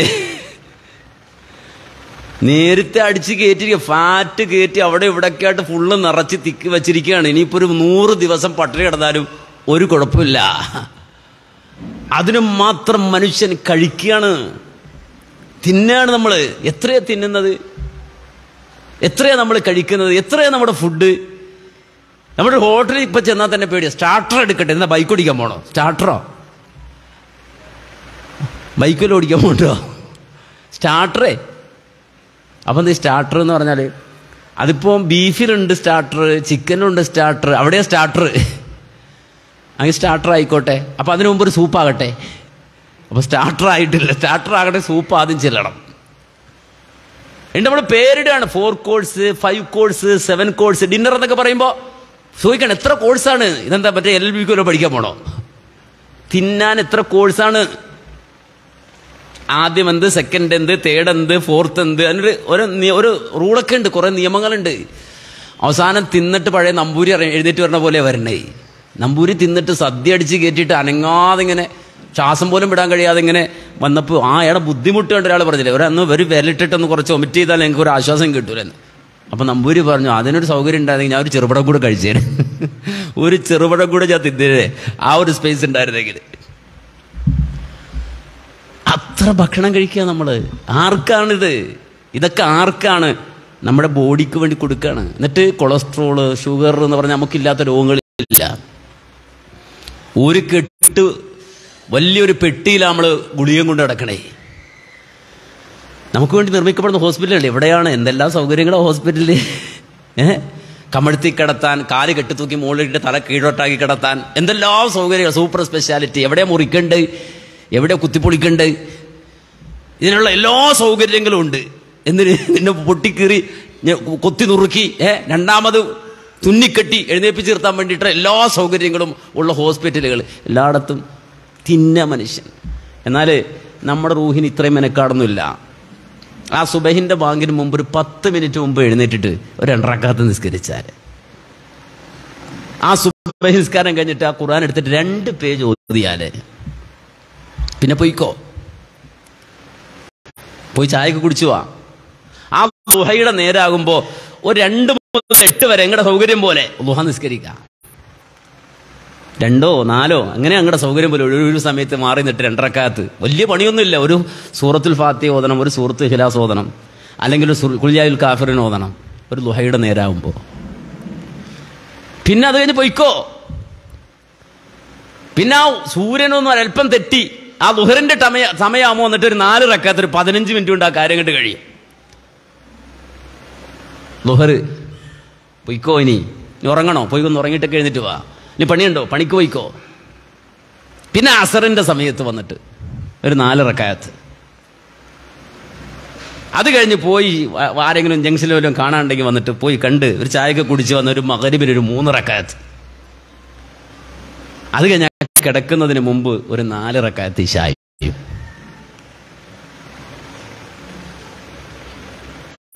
ഇനി ഇതാ സുബഹിന്റെ മുമ്പ് എഴുന്നേക്കില്ല എന്ന പേടിയുണ്ടോ? ഒരു വിത്ര മൂന്ന് റക്കത്തെങ്കിലും നിസ്കരിച്ചിട്ട് വിത്ര നിസ്കരിച്ചിട്ട്. ഇതൊക്കെ ആർക്കാന്നറിയോ? ആർക്കാ? നമ്മൾ മൂന്ന് നേരം ഭക്ഷണം കഴിക്കാൻ പറഞ്ഞതിന് അഞ്ചു നേരം ഭക്ഷണം കഴിച്ചവരാ. ആർക്ക് വേണ്ടി? ബോഡിക്ക് വേണ്ടി ശരീരത്തിന് വേണ്ടി. പക്ഷേ റൂഹിന് കൊടുക്കാൻ പറഞ്ഞത് അതിന്റെ റൂഹിന് കൊടുക്കാൻ പറഞ്ഞ ആ ആ നീരും ആ ഭക്ഷണവും നമ്മൾ കൊടുക്കുന്നില്ല. നീരു അതിന് വേണ്ട വെള്ളമുണ്ട് അതിന് വേണ്ട ഭക്ഷണമുണ്ട് കൊടുക്കുന്നില്ല. അതിങ്ങനെ എവിടെയൊക്കെ തിങ്ങി വിങ്ങി നമ്മുടെ ബോഡിയുടെ ഉള്ളിൽ ഇങ്ങനെ കഴിയാണ്. ഇവരിങ്ങനെ നടക്കുകയാണ് ഇതുമായിട്ട്. അങ്ങോട്ടും ഇങ്ങോട്ടും ഓടുകയാണ്. അവസാനം അവന്റെ അജലങ്ങ് തീർന്നു ആയുസങ്ങ് തീർന്നു. അപ്പോഴാണ് മലക്കുൽ മൗത്ത് വരുന്നത്. എന്തിന്? കൊണ്ടുപോകാൻ. ആരെ കൊണ്ടുപോകാനാ വന്നത്? ശരീരം കൊണ്ടുപോകാനോ? ശരീരം വേണ്ട വേസ്റ്റാണത് ശരീരത്തെ കൊണ്ടുപോകാനല്ല വന്നത്. റൂഹിനെ കൊണ്ടുപോകാൻ മലക്ക് വന്നു. എന്നിട്ട് വിളിക്കാണ് വാ പോകാം. മുപ്പര് വരുമോ നിന്ന് വെറുതെ വന്നല്ലേ? അവിടുന്ന് വെറുതെ വന്നല്ലേ? കുറേ ബാധ്യതകളൊക്കെ ഏറ്റ് ഞാൻ ഓക്കെയാണ് റെഡിയാണ് ഇപ്പൊ പോയി ഞാൻ കാണിച്ചില്ലെന്നൊക്കെ പറഞ്ഞ് ഇങ്ങോട്ട് വന്നത്. സമയം കിട്ടി കഴിഞ്ഞു. തിരിച്ചു വിളിക്കുമ്പോൾ മൂപ്പര് വരുന്നില്ല. പോകുന്നില്ല. അവിടെയാണ് മലക്കുകൾ. മലക്കുകൾ മുഖത്തും അവന്റെ മുതുകത്തും മാഞ്ഞടിക്കുന്നു. അടിച്ച് പറിച്ചെടുക്കണം. പോകാൻ നേരായി.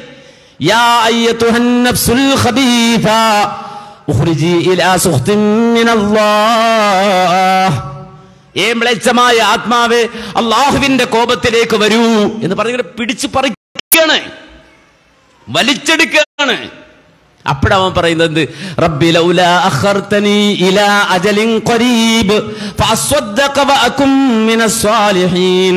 അല്ലാഹുവേ കുറച്ചു സമയം കൂടി എനിക്ക് വേണം.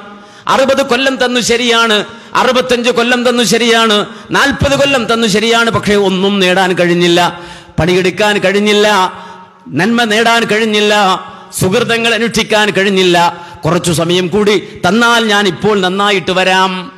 അവിടെയാ മനുഷ്യന്റെ ആത്മാവ് കൊതിക്കുന്നത് റൂഹ് കൊതിക്കുന്നത്. അപ്പോഴാ പറഞ്ഞു സമയം കഴിഞ്ഞു ഇനി രക്ഷയില്ല. സമയം അവസാനിച്ചു. സമയമായി കഴിഞ്ഞാൽ പിന്നെ അള്ളാഹു അത് നീട്ടിക്കൊടുക്കുന്ന പ്രശ്നമില്ല. സമയം കഴിഞ്ഞാൽ യാത്ര പോവുക തന്നെ. അങ്ങനെ മലക്കൾ വലിച്ചുകൊണ്ട് പോവൺ പറിച്ചുകൊണ്ട് പോവൺ അതാണ് ദുർഗന്ധം വമിച്ച് നാറി. മലക്കുകൾ വെറുത്ത് മുഖം തിരിച്ച്. അവർ ഓരോ മലക്കും തുവാ ചെയ്യുന്നതാണ്. ഈ വഴിക്ക് കൊണ്ടുവരില്ല ആകെ നാറ്റമാണത്. കാര്യം കഴുകിയിട്ടില്ല വൃത്തിയാക്കിയിട്ടില്ല കരഞ്ഞിട്ടില്ല തൗബ ചെയ്തിട്ടില്ല. ഉള്ള പാപവും കുറ്റവും കൊള്ളരുതായ്മകളും ഒക്കെ കൊണ്ട് കുമിഞ്ഞു കൂടി പുഴുത്തു നാറിയ ആത്മാവിന്റെ ഉടമകളാണവര്. മലക്കുകൾ അങ്ങേറ്റം വെറുപ്പോടെ സ്വീകരിക്കുന്ന ആത്മാക്കളാണത്. അതുകൊണ്ടാണ് ആ ആത്മാവ് ഒന്നാം ആകാശത്ത് ചെല്ലുമ്പോൾ തന്നെ കൊണ്ടുപോകുന്ന മലക്ക് ചോദിക്കും ഒരുത്തം വന്നിട്ടുണ്ട്. ആരാണെന്ന് മുകളിൽ നിന്ന് ഇന്നയാളാണ്. ഉടൻ തന്നെ മറുപടി ഇവിടെ പ്രവേശനമില്ല. ഇങ്ങോട്ട് കയറ്റാൻ പറ്റില്ല. ഒന്നാൻ ആകാശത്ത് വെച്ച് ആത്മാവിനെ തടയുന്നാണ് കൊണ്ടുപോയിക്കോ ദുനിയാവിലേക്ക്. തിരിച്ചു കൊണ്ടുപോയിക്കോ അവന്റെ കബറിലേക്ക് കൊണ്ടുപോയിട്ടുള്ളനാ പറയാ തിരിച്ചു തിരിച്ചുവിട്ടോ ആകാശത്തേക്ക് കയറ്റുന്ന പ്രശ്നമില്ലത്. അത്രയും നാറിയതാണത് പുഴുത്തുപോയതാണത്. അങ്ങനെയാണ് ഒന്നാം ആകാശത്ത് നിന്ന് ആ മനുഷ്യന്റെ ബർദഹ് ദുനിയാവിലേക്ക് അവന്റെ ഖബറിലേക്ക് ആ റൂഹിനെ മടക്കി വിടുന്നത് തിരിച്ചു വിടുന്നത്. ആലോചിച്ച് നോക്കൂ എന്തേ സംഭവിച്ചത്? എന്തേ സംഭവിച്ചത് വന്നിട്ട് ഒരിക്കൽ പോലും റൂഹിനെ കുളിപ്പിച്ചിട്ടില്ല. ഒരിക്കൽ പോലും റൂഹിനെ കുളിപ്പിച്ചിട്ടില്ല. നിങ്ങൾ കുളിപ്പിച്ചിട്ടുണ്ടോ? റൂഹിനെ കുളിപ്പിച്ച ആൾക്കാരുണ്ട്. നിങ്ങൾ കുളിപ്പിച്ചിട്ടുണ്ടോ? നിങ്ങൾ കുളിപ്പിച്ചിട്ടുണ്ടോ? ഞാൻ എന്നോടും ചോദിക്കട്ടെ. ഞാൻ കുളിപ്പിച്ചിട്ടുണ്ടോ റൂഹിനെ? എങ്ങനെ റൂഹിനെ കുളിപ്പിക്കുക? എങ്ങനെ കുളിപ്പിക്കുക. റൂഹിനെ കുളിപ്പിക്കാൻ വെള്ളം അറിയോ? റൂഹിനെ കുളിപ്പിക്കുന്ന വെള്ളം അറിയോ? സംസം എന്ന് കിട്ടുന്നുണ്ടോ സംസം വെള്ളം എന്ന് കിട്ടുന്നുണ്ടോ ഏ? എവിടുന്ന കിട്ടത് മക്കത്തുനിന്നാ കിട്ടുക. ആ വെള്ളം കൊണ്ടല്ലേ റൂഹിനെ കുളിപ്പിക്കണ്ടേ? ആണോ? അല്ലേ? ഏ? കണ്ണീര് കൊണ്ടാണ്. കണ്ണീര് കൊണ്ട് കരഞ്ഞിട്ട് കഴുകി കൽബിനെ വൃത്തിയാക്കണം. കൽബിനെ കഴുകി വൃത്തിയാക്കുന്ന വെള്ളമാണ് കണ്ണുനീർ. അതാണ് അള്ളാന്റെ റസൂൽ പറഞ്ഞത്. അള്ളാനെ ഭയപ്പെട്ട് കരഞ്ഞ കണ്ണുനീര് ആ കണ്ണുനീര് കൊണ്ടല്ലാതെ നരകത്തിന്റെ തീകെടുത്താൻ നിനക്ക് സാധിക്കില്ല. ഹബീബുന മുഹമ്മദ് മുസ്തഫ വസല്ലം. മനസ്സിലാക്കണം? അതിന് കരച്ചിൽ വരുമോ നമുക്ക്? കരയാറുണ്ട് നമ്മൾ? കരയണമെങ്കിൽ പറഞ്ഞ പോലെ ഒരു അവൽ രാത്രി അന്ത്യാമത്തിലേക്ക് ഒന്ന് എഴുന്നേറ്റിരിക്കണം. ആരും ഉണ്ടാവൂല. എല്ലാവരും കിടന്നല്ല ഉറക്കായിരിക്കും. നമ്മളും റബ്ബും മാത്രമേ ഉണ്ടാവുള്ളൂ ആ നേരത്ത്. ഒരു ശല്യം ഉണ്ടാവൂല. എഴുന്നേറ്റിരുന്നിട്ട് നമ്മുടെ ജീവിതത്തിൽ സംഭവിച്ചു പോയ കാര്യങ്ങളെ സംബന്ധിച്ച് നോർത്തെടുക്കണം. നമുക്ക് അള്ളാക്ക് പറ്റിയത് റബ്ബിന് ഇഷ്ടപ്പെടുന്നതാണോ ചെയ്തത്? നമ്മുടെ ജീവിതത്തിൽ നമ്മൾ ചെയ്തു കൂട്ടിയ തിന്മകൾ ആരും അറിയാതെ നമ്മൾ ചെയ്തത് അറിഞ്ഞു ചെയ്തത്. ജീവിതത്തിൽ സംഭവിച്ചു പോയ അബദ്ധങ്ങളൊക്കെ ഓർത്തെടുത്തിട്ട് റഹ്മാനായി റബ്ബിനോട് എടുത്തു പറഞ്ഞിട്ട് കണ്ണീര് കൊണ്ട് ആ കൽബിനെ നനച്ച് കുതിർത്ത് കുളിപ്പിച്ച് വൃത്തിയാക്കി. വെച്ചിട്ടില്ലെങ്കിൽ അത് പുഴുത്ത് പുഴുത്ത് നാറിപ്പോവും. മലക്കുകൾ വെറുപ്പോടെ നോക്കുന്ന ആത്മാക്കളായി അത് മാറും. അതുകൊണ്ട് മലക്കുകൾ വിളിക്കുന്നതിന് യാ നഫ്സുൽ മോശപ്പെട്ട വൃത്തികെട്ട കബിഹായ ആത്മാവി വാടാ എന്ന് പറഞ്ഞിട്ട് മലക്കുകൾ വിളിക്കുന്നത്. വിളി തന്നെ മോശമാണ് മലക്കുകളുടെ വിളി തന്നെ. കാര്യം നമുക്ക് അങ്ങനെ ഒരു സംഗതി ഉള്ളത് അറിയില്ല. റൂഹുള്ളത് തന്നെ നമ്മൾ അറിഞ്ഞിട്ടില്ല. ഊരുമ്പോഴാണ് അറിയുന്നത്. റൂഹുണ്ടായിരുന്നു. ഇതെങ്ങോട്ടായി പോണത്? അപ്പോഴാ മനുഷ്യൻ ചിന്തിക്കുന്നത്? അവിടെയാണ് കൈകാലിട്ടടിക്കുന്നത്. അവിടെയാണ് കരയുന്നത്. അള്ളാഹുവേ റബ്ബിർജൂൻ ഒന്നുകൂടി മടക്കിത്ത അല്ല മടക്കിത്ത അല്ല. ഒന്നുകൂടി ഒരവസരം കൂടി. അവിടെയാണ് മനുഷ്യൻ ആത്മാവന്റെ ആത്മാവ് കരയുന്നത്. കൂട്ടുകാരും കുടുംബക്കാരും വന്നിട്ട് അവന്റെ മയ്യത്തെടുത്ത് ജനാസയിൽ വെച്ചിട്ട് ഇങ്ങനെ കൊണ്ടുപോകുമ്പോ അവന്റെ റൂഹ് നിലവിളിക്കുകയാണ് കരയുകയാണ് ചോദിക്കുകയാണ് എങ്ങോട്ടാണ്? അയിനത്തദ്ഹബൂനബിഹ ഇതും കൊണ്ട് നിങ്ങൾ എങ്ങോട്ടാണ് പോകുന്നത്? കരയാണ് റൂഹ്. അള്ളാന്റെ റസൂൽ പറയണ യസ്മഉ സൗതഹ കുല്ലു ശൈ. സർവ ജീവജാലങ്ങളും ആ കരച്ചിൽ കേൾക്കും. ആ മയ്യത്തിന്റെ റൂഹിന്റെ കരച്ചിൽ എല്ലാ ജീവജാലങ്ങളും ആ റൂഹിന്റെ കരച്ചിൽ കേൾക്കും. ഇല്ലൽ ഇൻസാൻ. നമുക്കത് കേൾക്കാനുള്ള ഫ്രീക്വൻസി അല്ല തന്നില്ല നമ്മുടെ ചെവിക്ക് തന്നില്ല. ആ കരച്ചിൽ കേൾക്കാനുള്ള കഴിവ് അള്ളാഹു നമുക്ക് തന്നില്ല. എന്നിട്ട് അള്ളാഹിന്റെ റസൂൽ പറഞ്ഞു മനുഷ്യനെങ്ങാനും ആ കരച്ചിൽ കേട്ടിരുന്നെങ്കിൽ ബോധരഹിതനായി വീണുപോകുമായിരുന്നു മയ്യത്തടക്കാൻ ആളുണ്ടാവൂല. മയ്യത്തിന്റെ കരച്ചിൽ കേട്ടിരുന്നെങ്കിൽ മനുഷ്യൻ കേട്ടിരുന്നെങ്കിൽ അവൻ ബോധരഹിതനായി നിലത്ത് വീണു പോകുമായിരുന്നു. മനസ്സിലാക്കണം റൂഹിന്റെ വിലാപം റൂഹിന്റെ കരച്ചിൽ റൂഹ് കരഞ്ഞിട്ടാണ് കബറിൽ കഴിയണത്. കാര്യം ഒന്നുമില്ല. അവസരം പോയി സമയം പോയി. ഒന്നും നേടിയില്ല. കാര്യം എന്ന് വെച്ചാൽ തിന്നു ശരിയാ. കുടിച്ചു. വണ്ടി ഓട്ടിച്ചു. പണിക്ക് പോയി. M B B S L L B അതിനപ്പുറം എന്തൊക്കെയുണ്ട്? അതൊക്കെ എടുത്തു.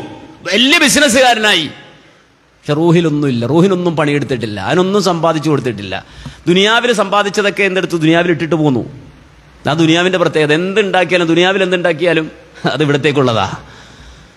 ഖുർആൻ അതുകൊണ്ടാണ് ദുനിയാവിനെ പരിചയപ്പെടുത്തിയപ്പോൾ ഒരു വാചകം പറഞ്ഞു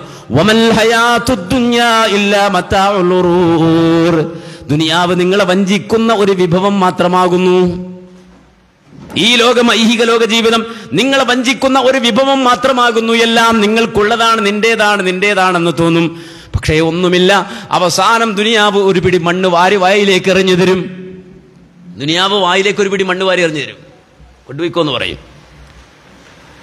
ഈ വായിലേക്ക് മണ്ണെറിഞ്ഞു തരലല്ലാതെ ദുനിയാവ് നിങ്ങൾക്കൊന്നും തരില്ല. നിങ്ങൾക്കുള്ളതെല്ലാം വലിച്ചെറിഞ്ഞുകൊണ്ടാണ് ദുനിയാവിൽ നിന്ന് നിങ്ങൾ യാത്ര പോകുന്നത്. ഒന്നുമില്ലാത്തവരായിട്ടാണ് യാത്ര പോകുന്നത്. ഒന്നും എടുക്കാതെയാണ് യാത്ര പോകുന്നത്. അതാണ് മരിച്ചു കഴിഞ്ഞാൽ പിന്നെ ഇവന്റെ സ്വത്ത് എന്ത് ചെയ്യണമെന്ന് പോലും മറ്റുള്ളവരാ തീരുമാനിക്കുന്നത്. ഇവനൊരു അധികാരവുമില്ലാതെ ഇവനൊരു സ്വാതന്ത്ര്യവുമില്ലാതെ ഈ ലോകത്തിൽ നിന്ന് അവൻ യാത്ര പോവുകയാണ്. മനസ്സിലാക്കണം പൊതു ശ്മശാനങ്ങളിൽ കൊണ്ടുപോയി കബർ അല്ല ആരും- വീട്ടിലാണോ കബർ ബെഡ്റൂമിലാണോ ആരെങ്കിലും കബറെടുക്കണേ അല്ല. ഒരു കബർസ്ഥാനിൽ കൊണ്ടുപോയിട്ട് അടക്കാണ് ദുനിയാവ് ഭൂമി അള്ളാഹു അതിനെ പാകത്തിലാക്കി. നമുക്ക് ജീവിക്കാൻ ഭൂമിയിൽ മരിച്ചാൽ കിടക്കുകയും ചെയ്യാം ഭൂമിയിൽ. ജീവിക്കാനും പറ്റും. അതുപോലെ തന്നെ മരിച്ചു കഴിഞ്ഞാൽ കൊണ്ട് ഇടാനും പറ്റും. ഭൂമി രണ്ടിനും പറ്റിയതാണ്. ജീവിക്കുന്നവർക്കും ഖുർആൻ പറഞ്ഞില്ലേ. ഭൂമിയുടെ പ്രത്യേകത അത് ജീവിച്ചിരിക്കുന്നവർക്കും പറ്റും മരിച്ചാലും പറ്റും. ജീവിച്ചിരിക്കുമ്പോൾ മുകളിൽ ജീവിക്കാം മരിച്ചാൽ അടിയിൽ ജീവിക്കാം. ഇത് രണ്ടിനും പാകപ്പെട്ട രൂപത്തിലാണ് ഭൂമി അല്ല പഠിച്ചെന്നത് അപ്പോ നമ്മൾ ഇത് വളരെ ആലോചിക്കണം ചിന്തിക്കണം എപ്പോഴാ മരിക്കുക എന്നുള്ളത് നമുക്ക് ആർക്കും അറിയില്ല. ഒരു സൂചന ഉണ്ടാവില്ല ചിലപ്പോ? ഇരുന്ന ഇരിപ്പിലങ്ങോട്ട് മരിച്ചു പോവും. പേടിപ്പിക്കാൻ വേണ്ടി പറയല്ല വലിയ റാഹത്താ അത്. നമ്മളൊക്കെ മരിച്ചില്ലായിരുന്നെങ്കിൽ നരകിച്ച് ആകെ ഇടങ്ങറായി പോകുമായിരുന്നു. നരകിച്ച് ചത്തുപോയെന്ന് പറയാൻ പറ്റില്ല. മരിക്കുന്നില്ലെങ്കിൽ പിന്നെ നരകിച്ച് ചത്തുപോകുമെന്ന് പറയാൻ പറ്റില്ല. നരകിച്ചാകെ നമ്മൾ ആകെ ചാറായി പോകും. സംശയമില്ല. മരണം എന്ന് പറഞ്ഞാൽ വലിയ റാഹത്തുള്ള സംഗതിയാണ് കുറേ ജീവിച്ചാൽ പിന്നെ അങ്ങോട്ട് വേഗം മരിച്ചേക്കണം. ഇല്ലെങ്കിൽ നമുക്ക് സഹിക്കാൻ പറ്റില്ല ദുനിയാവിൽ ആ മരണം എപ്പോഴാണ് വരിക എന്നുള്ളത് അറിയില്ല. നമുക്കറിയില്ല എപ്പം മരിക്കും. പക്ഷേ നമ്മെ സംബന്ധിച്ചിടത്തോളം നമ്മൾ അത് കണ്ടു ജീവിക്കണം. മരിക്കും ഞാനെന്ന് കണ്ടു ജീവിക്കണം. ചിലപ്പോൾ നമുക്ക് ഈ ജീവിച്ചിരിക്കുന്ന മനുഷ്യർക്ക് ഒരു പ്രശ്നമുണ്ട്. എന്തറിയോ? ഞാൻ മരിക്കുമെന്ന് പറഞ്ഞ ഉറപ്പില്ല എനിക്ക്. എനിക്ക് ഉറപ്പുണ്ടോ? ഈ ചില റഷ്യക്കാരെ കുറിച്ചൊക്കെ പറയാറുണ്ട്. എന്ത്? ഇന്നാൾ മരിച്ചു എന്ന് പറഞ്ഞാൽ മൂപ്പര് ഉടനെ തന്നെ പിന്നെ ശ്വാസം പിടിക്കുമെന്നാണ് കയ്യിൽ കുഴപ്പമൊന്നുമില്ലെന്ന് കണ്ട മൂപ്പര് ഒറ്റപ്പോക്ക. ഞാനല്ലല്ലോ. ഉണ്ടോ? നമ്മൾ ഈ മരിക്കും എന്നൊക്കെ പറയുമ്പോൾ ആറ് വേറെ ആരുടെ കാര്യം പറയണ എന്നാണ്. മനസ്സിലാക്കണേ? വല്ലുമ്മ അവിടെ സൂല കിടപ്പുണ്ട് കേട്ടോ നമ്മൾ മരിക്കും എന്നൊക്കെ പറയുമ്പോൾ ഉടനെ വല്ലുമ്മ മനസ്സിലേക്ക് വരണ്ടേ. വല്ലുമ്മ മരിക്കുന്നു വല്ലുമ്മ മരിക്കൂല വല്ലുമ്മ അവിടെ തന്നെ ഉണ്ടാവും. നമ്മളങ്ങോട്ട് മരിച്ചു. മഹാനായ ഇമാം ഷാഫി റഹിമുള്ള പറഞ്ഞില്ലേ? എന്ത്? എത്ര എത്ര ആളുകൾ? വക്കമ്മിൻ സ്വഹീഹിൻ മാത من غير علتي وكم من سقيم عاش دهرا إلى دهري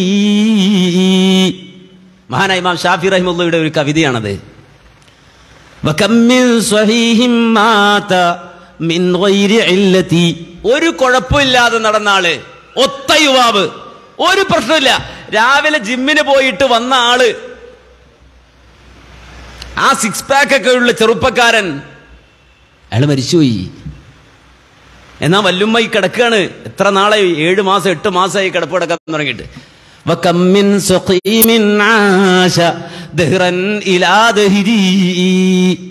സുഖമില്ലാതെ കിടക്കുന്ന ആൾ മുപ്പര് മാസങ്ങൾ ഇങ്ങനെ കഴിഞ്ഞ് ഇങ്ങനെ ജീവിച്ചാൽ ഇരിക്കുകയാണ് ഒരു കുഴപ്പമില്ലാതെ വന്ന ആൾ മരിച്ചു പോവാണ്. ഷാഫിമാൻ പറയാണ്.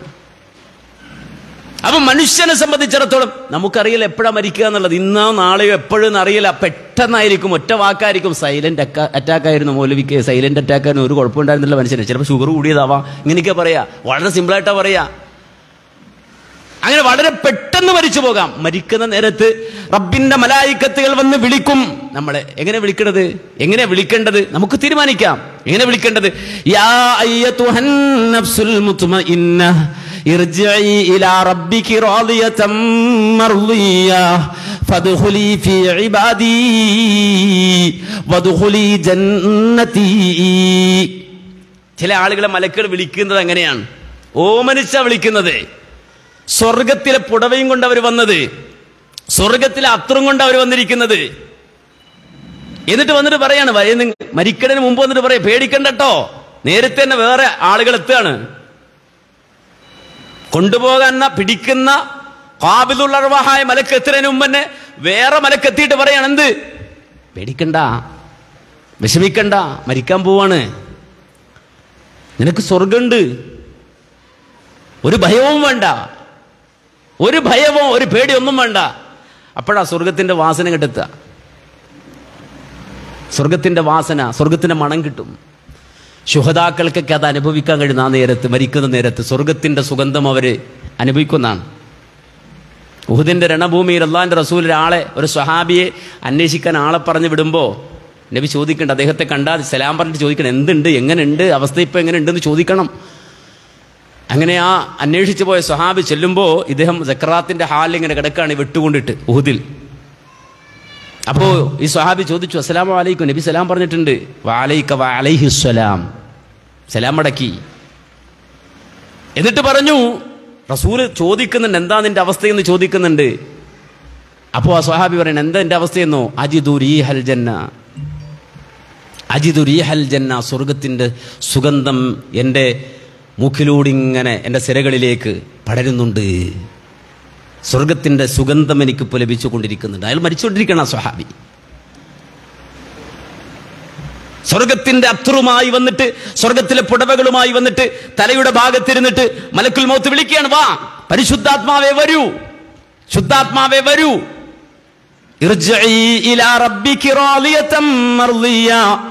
നീ ഇത്രയും കാലം നീ കൊതിച്ച നിന്റെ റബ്ബുണ്ടല്ലോ.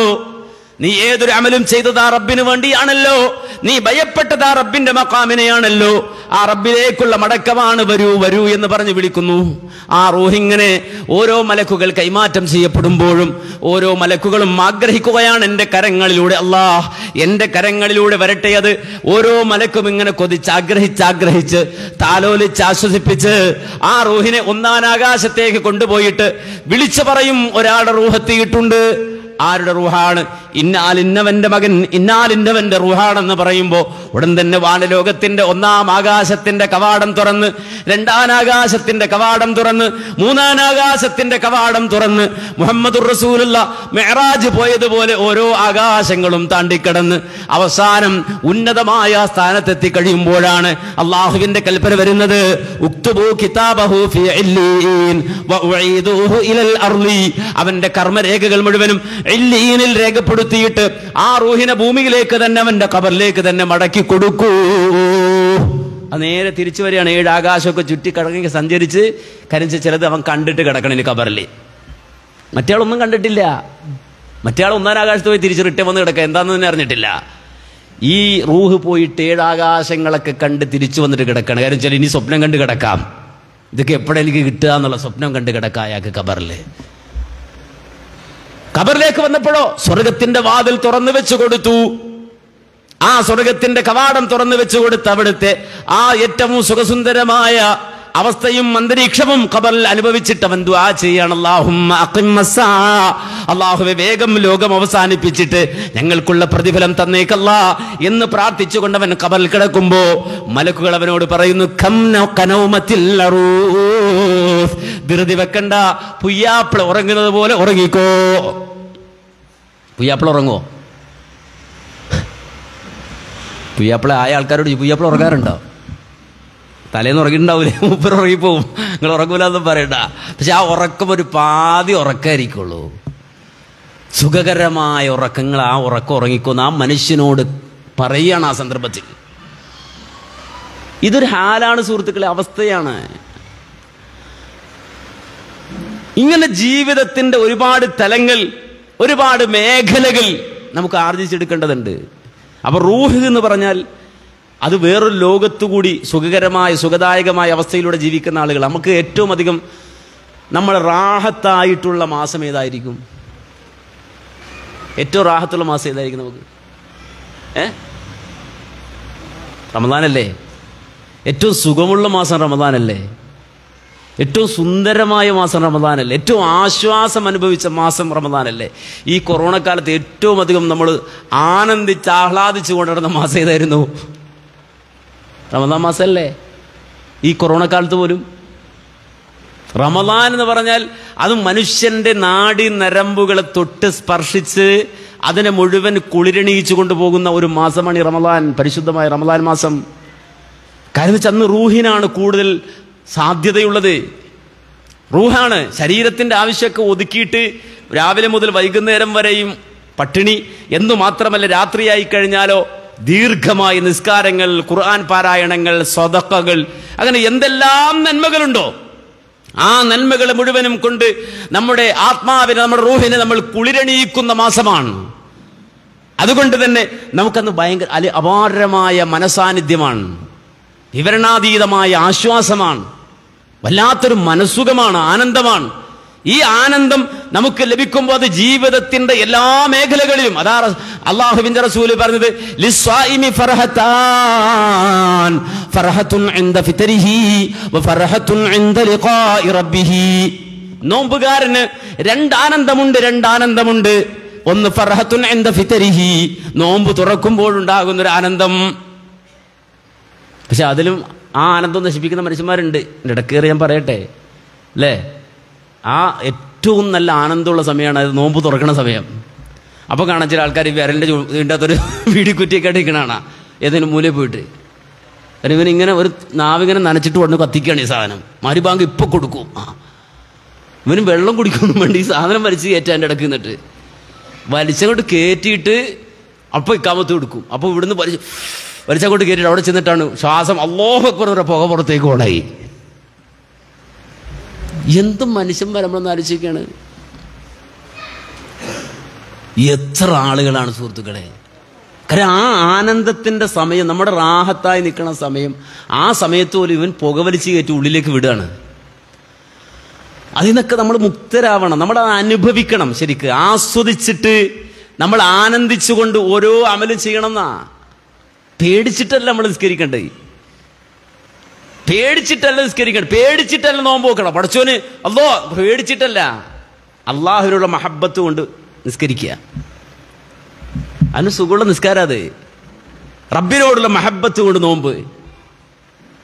അള്ളാഹുവിനോടുള്ള മഹബത്ത് കൊണ്ട് നെഞ്ചറിഞ്ഞിട്ട് സ്വതക്ക. അള്ളാഹ്ക്ക് വേണ്ടിയാ ആ റബ്ബിന് വേണ്ടിയാകുമ്പോൾ കിട്ടുന്ന സുഖമുണ്ടല്ലോ. എന്ത് ഏത് രംഗവും നമുക്കൊരു ടെൻഷൻ ഇല്ലാത്ത ജീവിതം അതെ. മറ്റേത് ബേജാറാണ്. എന്നാൽ ഒരു ഹറാമ് ചെയ്യുമ്പോൾ അള്ളാനെ പേടിച്ചിട്ട് അങ്ങോട്ട് പോരും. അള്ളാനെ പേടിച്ചിട്ട് ഹറാമ് ചെയ്യുമ്പോൾ പടച്ചോനെ പടച്ചോനെ എന്നെ ശിക്ഷിക്കുന്നുള്ള പേടിയിൽ നല്ലത് ചെയ്യുമ്പോൾ അള്ളാഹിനോടുള്ള ഇഷ്ടം കൊണ്ട് ചെയ്യുക ഹറാമ് ചെയ്യുമ്പോൾ അള്ളാഹിനെ പേടിച്ചിട്ട് പുറകോട്ട് പോകും അള്ളാഹിന്റെ ഇഷ്ടം കുറഞ്ഞു പോവോ. എന്ന് പേടിച്ചിട്ട് റിട്ടേൺ പോരാ. അപ്പോൾ ഈ രൂപത്തിൽ അല്ല പറയാൻ ഒരു മനുഷ്യന് നോമ്പുകാരനായ മനുഷ്യന് രണ്ട് സന്തോഷമാണുള്ളതെങ്കിൽ അതിലൊരു സന്തോഷം ഫർഹത്തുൻ ഫിത്രിഹി. അവൻ നോമ്പ് തുറക്കുമ്പോഴുള്ള ആനന്ദമാണെങ്കിൽ രണ്ടാമത് അവനൊരു സന്തോഷം വരാനുള്ള സമയമുണ്ട്. അത് തന്റെ റബ്ബിനെ കണ്ടുമുട്ടുമ്പോഴുള്ള സന്തോഷമാണ്. അള്ളഹാനെ കാണുമ്പോൾ സന്തോഷം. കാരണം വെച്ചാൽ ഇത് വി വി ഐ പികളായി നോമ്പുകാരെന്ന് പറഞ്ഞാൽ നോമ്പ് റമദാനി മാത്രമാക്കരുത് തിങ്കളാഴ്ച നോമ്പ് നോക്കണം. വ്യാഴാഴ്ച നോമ്പ് നോക്കണം. അയ്യാമൽ ബീദിന് നോമ്പ് നോക്കണം. ഈ നോമ്പുകാരുടെ സ്പെഷ്യലിസ്റ്റിൽ കയറി കഴിഞ്ഞാലേ മനസ്സിലാക്കണം അത് പടച്ചവന് മൊത്തത്തിൽ കണ്ട് എടുത്ത സാധനമാണ് എല്ലാം അതാ അള്ളാന്റെ അള്ളാഹുന്റെ റസൂൽ കുതിസിയ ഒരു ഹദീസിലൂടെ പറഞ്ഞത്.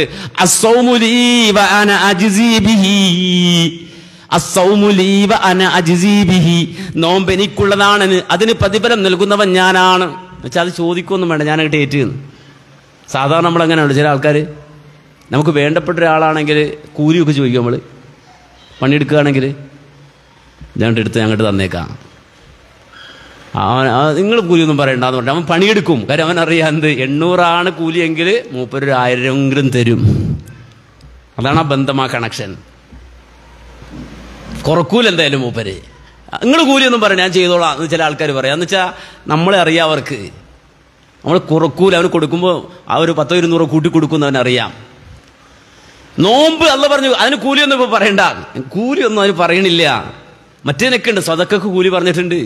നിസ്കാരത്തിന്റെ കൂലി അതിനൊക്കെ കൂലി പറഞ്ഞിട്ടുണ്ട്. ഏതെങ്കിലും ഒരു നിലക്കൊക്കെ കൂലിയുണ്ട്. പക്ഷെ നോമ്പിന്റെ കൂലി അല്ല പറഞ്ഞില്ല അല്ല പറഞ്ഞത് അതെനിക്കുള്ളതാണ്.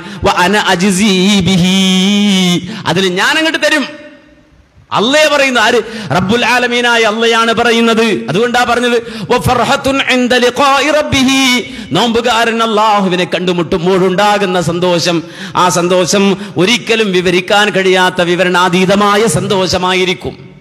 അപ്പൊ ഇതൊക്കെ നമ്മൾ കാണണം ഈ റമദാൻ ഈ നോമ്പെത്തുമ്പോൾ അതുകൊണ്ട് നമുക്കറിയാം നോമ്പിന് മുമ്പ് എല്ലാം അടിച്ച് വൃത്തിയാക്കി വീട് വേറെ ഉമ്മമാരൊക്കെ ഉണ്ടെങ്കിൽ ഭയങ്കര ടെൻഷനാണ് നോമ്പായി കഴിഞ്ഞാലേ ഉമ്മമാരൊക്കെ ഉണ്ടെങ്കിൽ നമുക്ക് ഇപ്പോഴത്തെ തലമുറയുടെ കാര്യമല്ല എനിക്കത് അറിയില്ല പക്ഷെ ഉമ്മമാരൊക്കെ ഉണ്ടെങ്കിൽ ഭയങ്കര ബേജാറാ. ഷേബാനൊക്കെ ആകുമ്പോൾ വടിയും കോലും ആ ചൂലിന്റെ കെട്ടൊക്കെ പൊട്ടിക്കിടക്കണം. ആ ചൂലും അതൊക്കെ എടുത്ത് കൊണ്ടുവന്ന് അവിടെ അടിക്കുക ഇവിടെ അടിക്കുകയാണ്.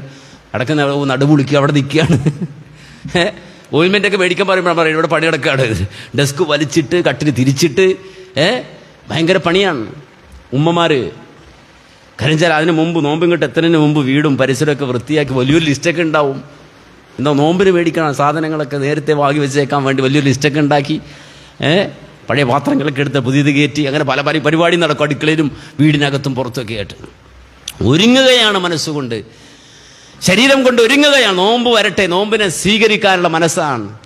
ആ നോമ്പിനെ സ്വീകരിക്കാൻ വേണ്ടിയുള്ള ആഗ്രഹം ആ രൂപത്തിലുള്ള ഈ പണി ഈ അധ്വാനം നടത്തുന്ന സന്ദർഭത്തിൽ നമ്മളും മനസ്സുകൊണ്ട് ശരീരം കൊണ്ട് ഒരുങ്ങി നിൽക്കുക. ഈ റമദാനെ സ്വീകരിക്കാൻ റമദാനെ മർഹബ പറയാൻ സ്വാഗതം ചെയ്യാൻ. നമുക്ക് കിട്ടാവുന്ന ഏറ്റവും വലിയ നിധികൾ കൻസുകൾ അള്ളാഹുവിന്റെ ഉള്ളിൽ ഒളിപ്പിച്ചു വെച്ചിട്ടുണ്ട്. ടാസ്ക്കാണതൊക്കെ എൺപത് കൊല്ലം എൺപത്തിമൂന്ന് കൊല്ലം പണിയെടുത്താൽ കിട്ടുന്ന പ്രതിഫലം ഒറ്റ രാത്രി. ഒന്ന് അറിഞ്ഞ് പ്രവർത്തിച്ചാൽ എപ്പോഴാ അത്? ചില പറഞ്ഞു ഇരുപത്തേഴ് രാവിനാണ് എന്ന്. ചിലപ്പോൾ ഇരുപത്തിമൂന്നിനാണ് ഇരുപത്തൊന്നിനാണ്. നബി പറഞ്ഞു അവസാനത്തെ പത്തിൽ നോക്കിക്കോ.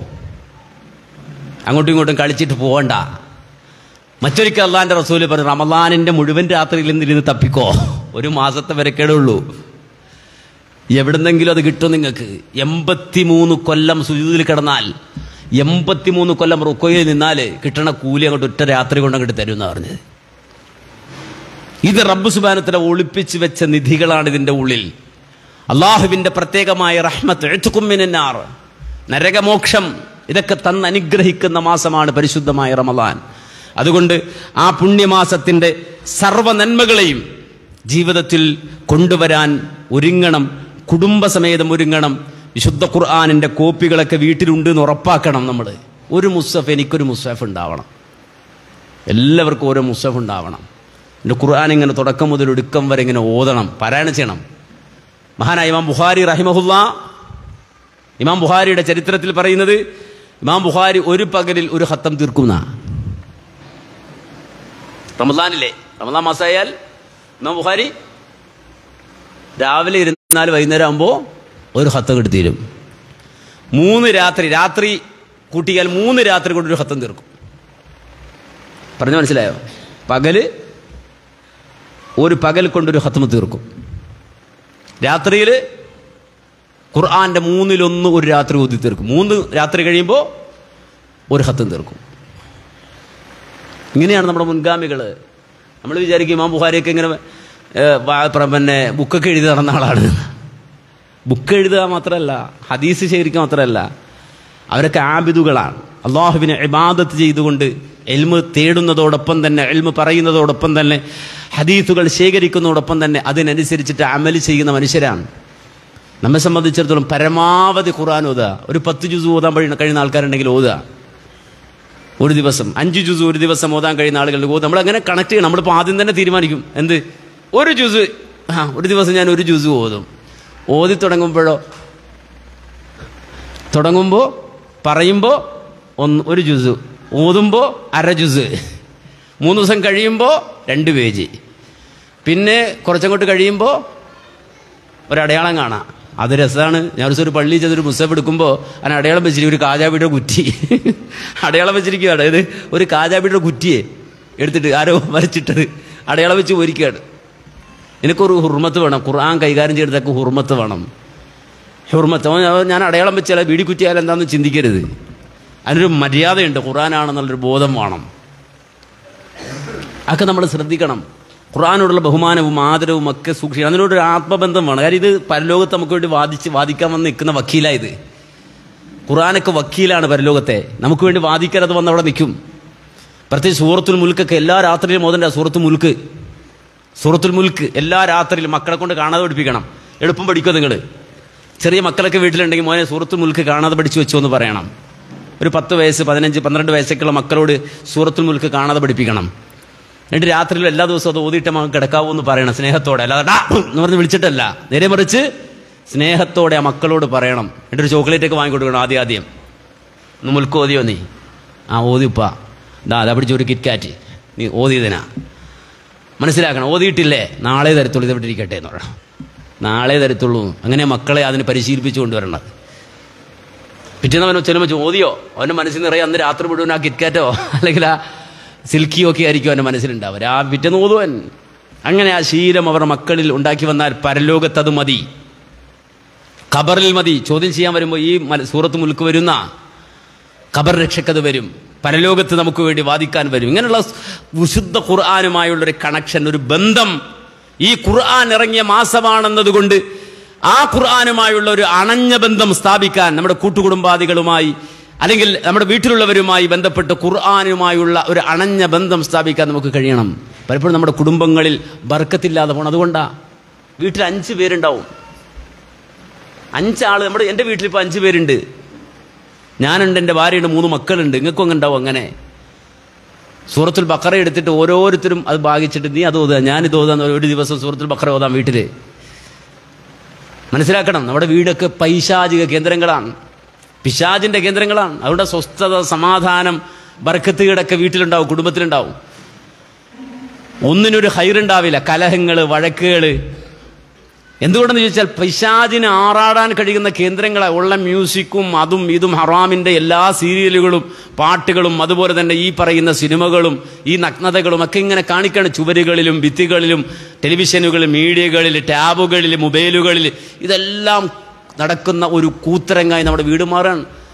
അങ്ങനെ വരുമ്പോൾ സ്വാഭാവികമായിട്ട് അത് പൈശാചിക കേന്ദ്രമായി മാറും. ശീത്താന്റെ കേന്ദ്രമായി മാറും. അവിടെ സൂറത്തിൽ ബക്കറ ഒരു മനുഷ്യൻ അവരുടെ വീട്ടിലുള്ള ഓരോരുത്തരും ഓരോ ഭാഗം എടുത്തിട്ട് ഓതിയാൽ വളരെ സിമ്പിളായി ഓതി തീർക്കാൻ കഴിയും. അങ്ങനെ സൂറത്തുൽ ബക്കറ ഓതുന്ന വീടുകളിൽ നിന്ന് പിശാജ് ഓടി ആകരുമെന്ന് ഹബീബുന മുഹമ്മദ് മുസ്തഫ സലതാലിസിന് പഠിപ്പിച്ചതാണ് അപ്പോൾ ഇതെല്ലാം ശീലിച്ച് ഏറ്റവും ഹൈറായ ബർക്കത്തുള്ള നമ്മുടെ ജീവിതത്തിന്റെ പരിവർത്തനത്തിന് മുതൽക്കൂട്ടാകുന്ന നാളെ ആഹ്റത്തിൽ നമുക്ക് വെളിച്ചമാകുന്ന അള്ളാഹുവിന്റെ മുന്നിൽ റബ്ബിനെ കണ്ടുമുട്ടുമ്പോൾ ഏറ്റവും സന്തോഷത്തോടെ അള്ളാഹുവിന്റെ അടുക്കൽ നിന്ന് ഗിഫ്റ്റ് വാങ്ങാൻ സമ്മാനങ്ങൾ വാങ്ങാൻ കഴിയുന്ന റാഹത്തായി നമ്മുടെ കബറിൽ കിടക്കാൻ കഴിയുന്ന രൂപത്തിൽ പരിശുദ്ധമായ പുണ്യമായ ഈ റമദാനിനെ സജ്ജമാക്കാൻ നമുക്കെല്ലാവർക്കും സാധിക്കേണ്ടതുണ്ട്. റബ്ബെ റഹ്മാനെ ഞങ്ങളുടെ ജീവിതത്തിൽ നിനക്കേറ്റവും ഇഷ്ടപ്പെട്ട രൂപത്തിൽ ഞങ്ങളുടെ ജീവിതത്തിന്റെ ഓരോ സെക്കൻഡുകളെയും മണിക്കൂറുകളെയും ദിവസങ്ങളെയും ക്രമീകരിക്കാൻ ഞങ്ങൾക്ക് നീ തൗഫീക്ക് തന്ന് അനുഗ്രഹിക്കണേ അള്ളാ. റബ്ബേ റാഹത്തായ ജീവിതവും റാഹത്തായ മരണവും ഞങ്ങൾക്ക് നീ പ്രദാനം ചെയ്ത് അനുഗ്രഹിക്കണേ അള്ളാ. അള്ളാഹുവെ ഞങ്ങളുടെ ജീവിതത്തിൽ സംഭവിച്ചു പോയ ചെറുതും വലുതുമായ സർവമാന പാപങ്ങളും ഞങ്ങൾക്ക് നീ പുറത്തു മാപ്പാക്കി തരണേ അള്ളാ. അള്ളാഹുവെ നിന്റെ ദീനിനു വേണ്ടി വാദിക്കാനും നിന്റെ ദീനിനെ അനുസരിച്ചുകൊണ്ട് ജീവിക്കാനും അവസാനം നിന്റെ ദീനിലായി ഷഹീദാകാനും ഞങ്ങൾക്ക് നീ തോഫീക്ക് തന്ന് അനുഗ്രഹിക്കണേ അള്ളാ അള്ളാഹുവെ ഞങ്ങളുടെ മാതാപിതാക്കൾ ഞങ്ങൾക്ക് ജന്മം നൽകിയവർ. അള്ളാഹുവെ അവർക്ക് നീ മഹ്ഫറത്തും മർഹമത്തും പ്രദാനം ചെയ്ത് അനുഗ്രഹിക്കണേ അള്ളാ അള്ളാഹുവെ അവരുടെ ഖബറും നാളെ ആഹ്റത്തിലെ ഹിസാബും എല്ലാം എളുപ്പമാക്കി കൊടുക്കണേ അള്ളാ അള്ളാഹുവെ ഞങ്ങളുടെ ഉപ്പമാർക്ക് ഉമ്മമാർക്ക് നീ ഏറ്റവും ഉന്നതമായ സ്വർഗത്തിലെ ഇടം നൽകി അനുഗ്രഹിക്കണേ അള്ളാ. അള്ളാഹുവെ ഞങ്ങളുടെ മക്കളെയും ഇണകളെയും കൂട്ടുകുടുംബാദികളെയും നീ സ്വാലിഹീങ്ങളാക്കണേ അള്ളാ. അള്ളാഹുവെ അവരോടൊപ്പം നാളെ സ്വർഗത്തിൽ ഒരുമിക്കാനുള്ള തോഫീക്ക് ഞങ്ങൾക്ക് എല്ലാവർക്കും പ്രദാനം ചെയ്ത് അനുഗ്രഹിക്കണേ അള്ളാ. അള്ളാഹുവെ ദുനിയാവിലെ കടങ്ങൾ പ്രയാസങ്ങൾ പ്രതിസന്ധികൾ രോഗങ്ങൾ കഷ്ടതകൾ ഞങ്ങളുടെ മനസ്സിനെ വേദനിപ്പിക്കുന്ന ഏതെല്ലാം സംഗതികളുണ്ടോ അത് മുഴുവനും ഞങ്ങളിൽ നിന്ന് അകറ്റിത്തരണേ അള്ളാ. അള്ളാഹുവെ കൂടുതൽ കൂടുതൽ നിന്നിലേക്ക് തവക്കുൽ ചെയ്ത് നിന്നിൽ സമർപ്പിച്ച് ഏറ്റവും സമാധാനത്തോടെ ജീവിച്ച് അവസാനം മലായിക്കത്തുകളുടെ ആശീർവാദം സ്വീകരിച്ച് ദുനിയാവിൽ നിന്ന് യാത്ര പറയുന്ന മുത്തക്കുകളിൽ നാഥ ഞങ്ങളെ ഉൾപ്പെടുത്തി അനുഗ്രഹിക്കണേ അള്ളാ ربنا تقبل منا إنك أنت السميع العليم وتب علينا إنك أنت التواب الرحيم ربنا اغفر لنا ولإخواننا الذين سبقونا بالإيمان ولا تجعل في قلوبنا غلا للذين آمنوا ربنا إنك رؤوف رحيم والحمد لله رب العالمين السلام عليكم ورحمة الله وبركاته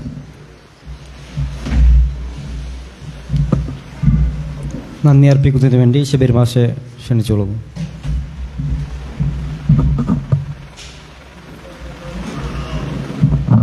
അസ്സാം വലൈക്കും വരഹമുല്ല അലഹമുല്ല അസ്ലാത്തു വസ്സലാം അല റസൂലില്ല വാല അലിഹി വസഹബി അജ്മീൻ നമാബാദ് ഏറ്റവും പ്രിയമുള്ള സഹോദര പ്രവർത്തനങ്ങളെ നമ്മുടെ കുറ്റപ്പുറം മണ്ഡലത്തിന്റെ വിജ്ഞാനവേദി ഇവിടെ സമാപിച്ചിരിക്കുകയാണ്. മുഴുവൻ ആളുകൾക്കും നമസ്കരിക്കാനുള്ള സൗകര്യം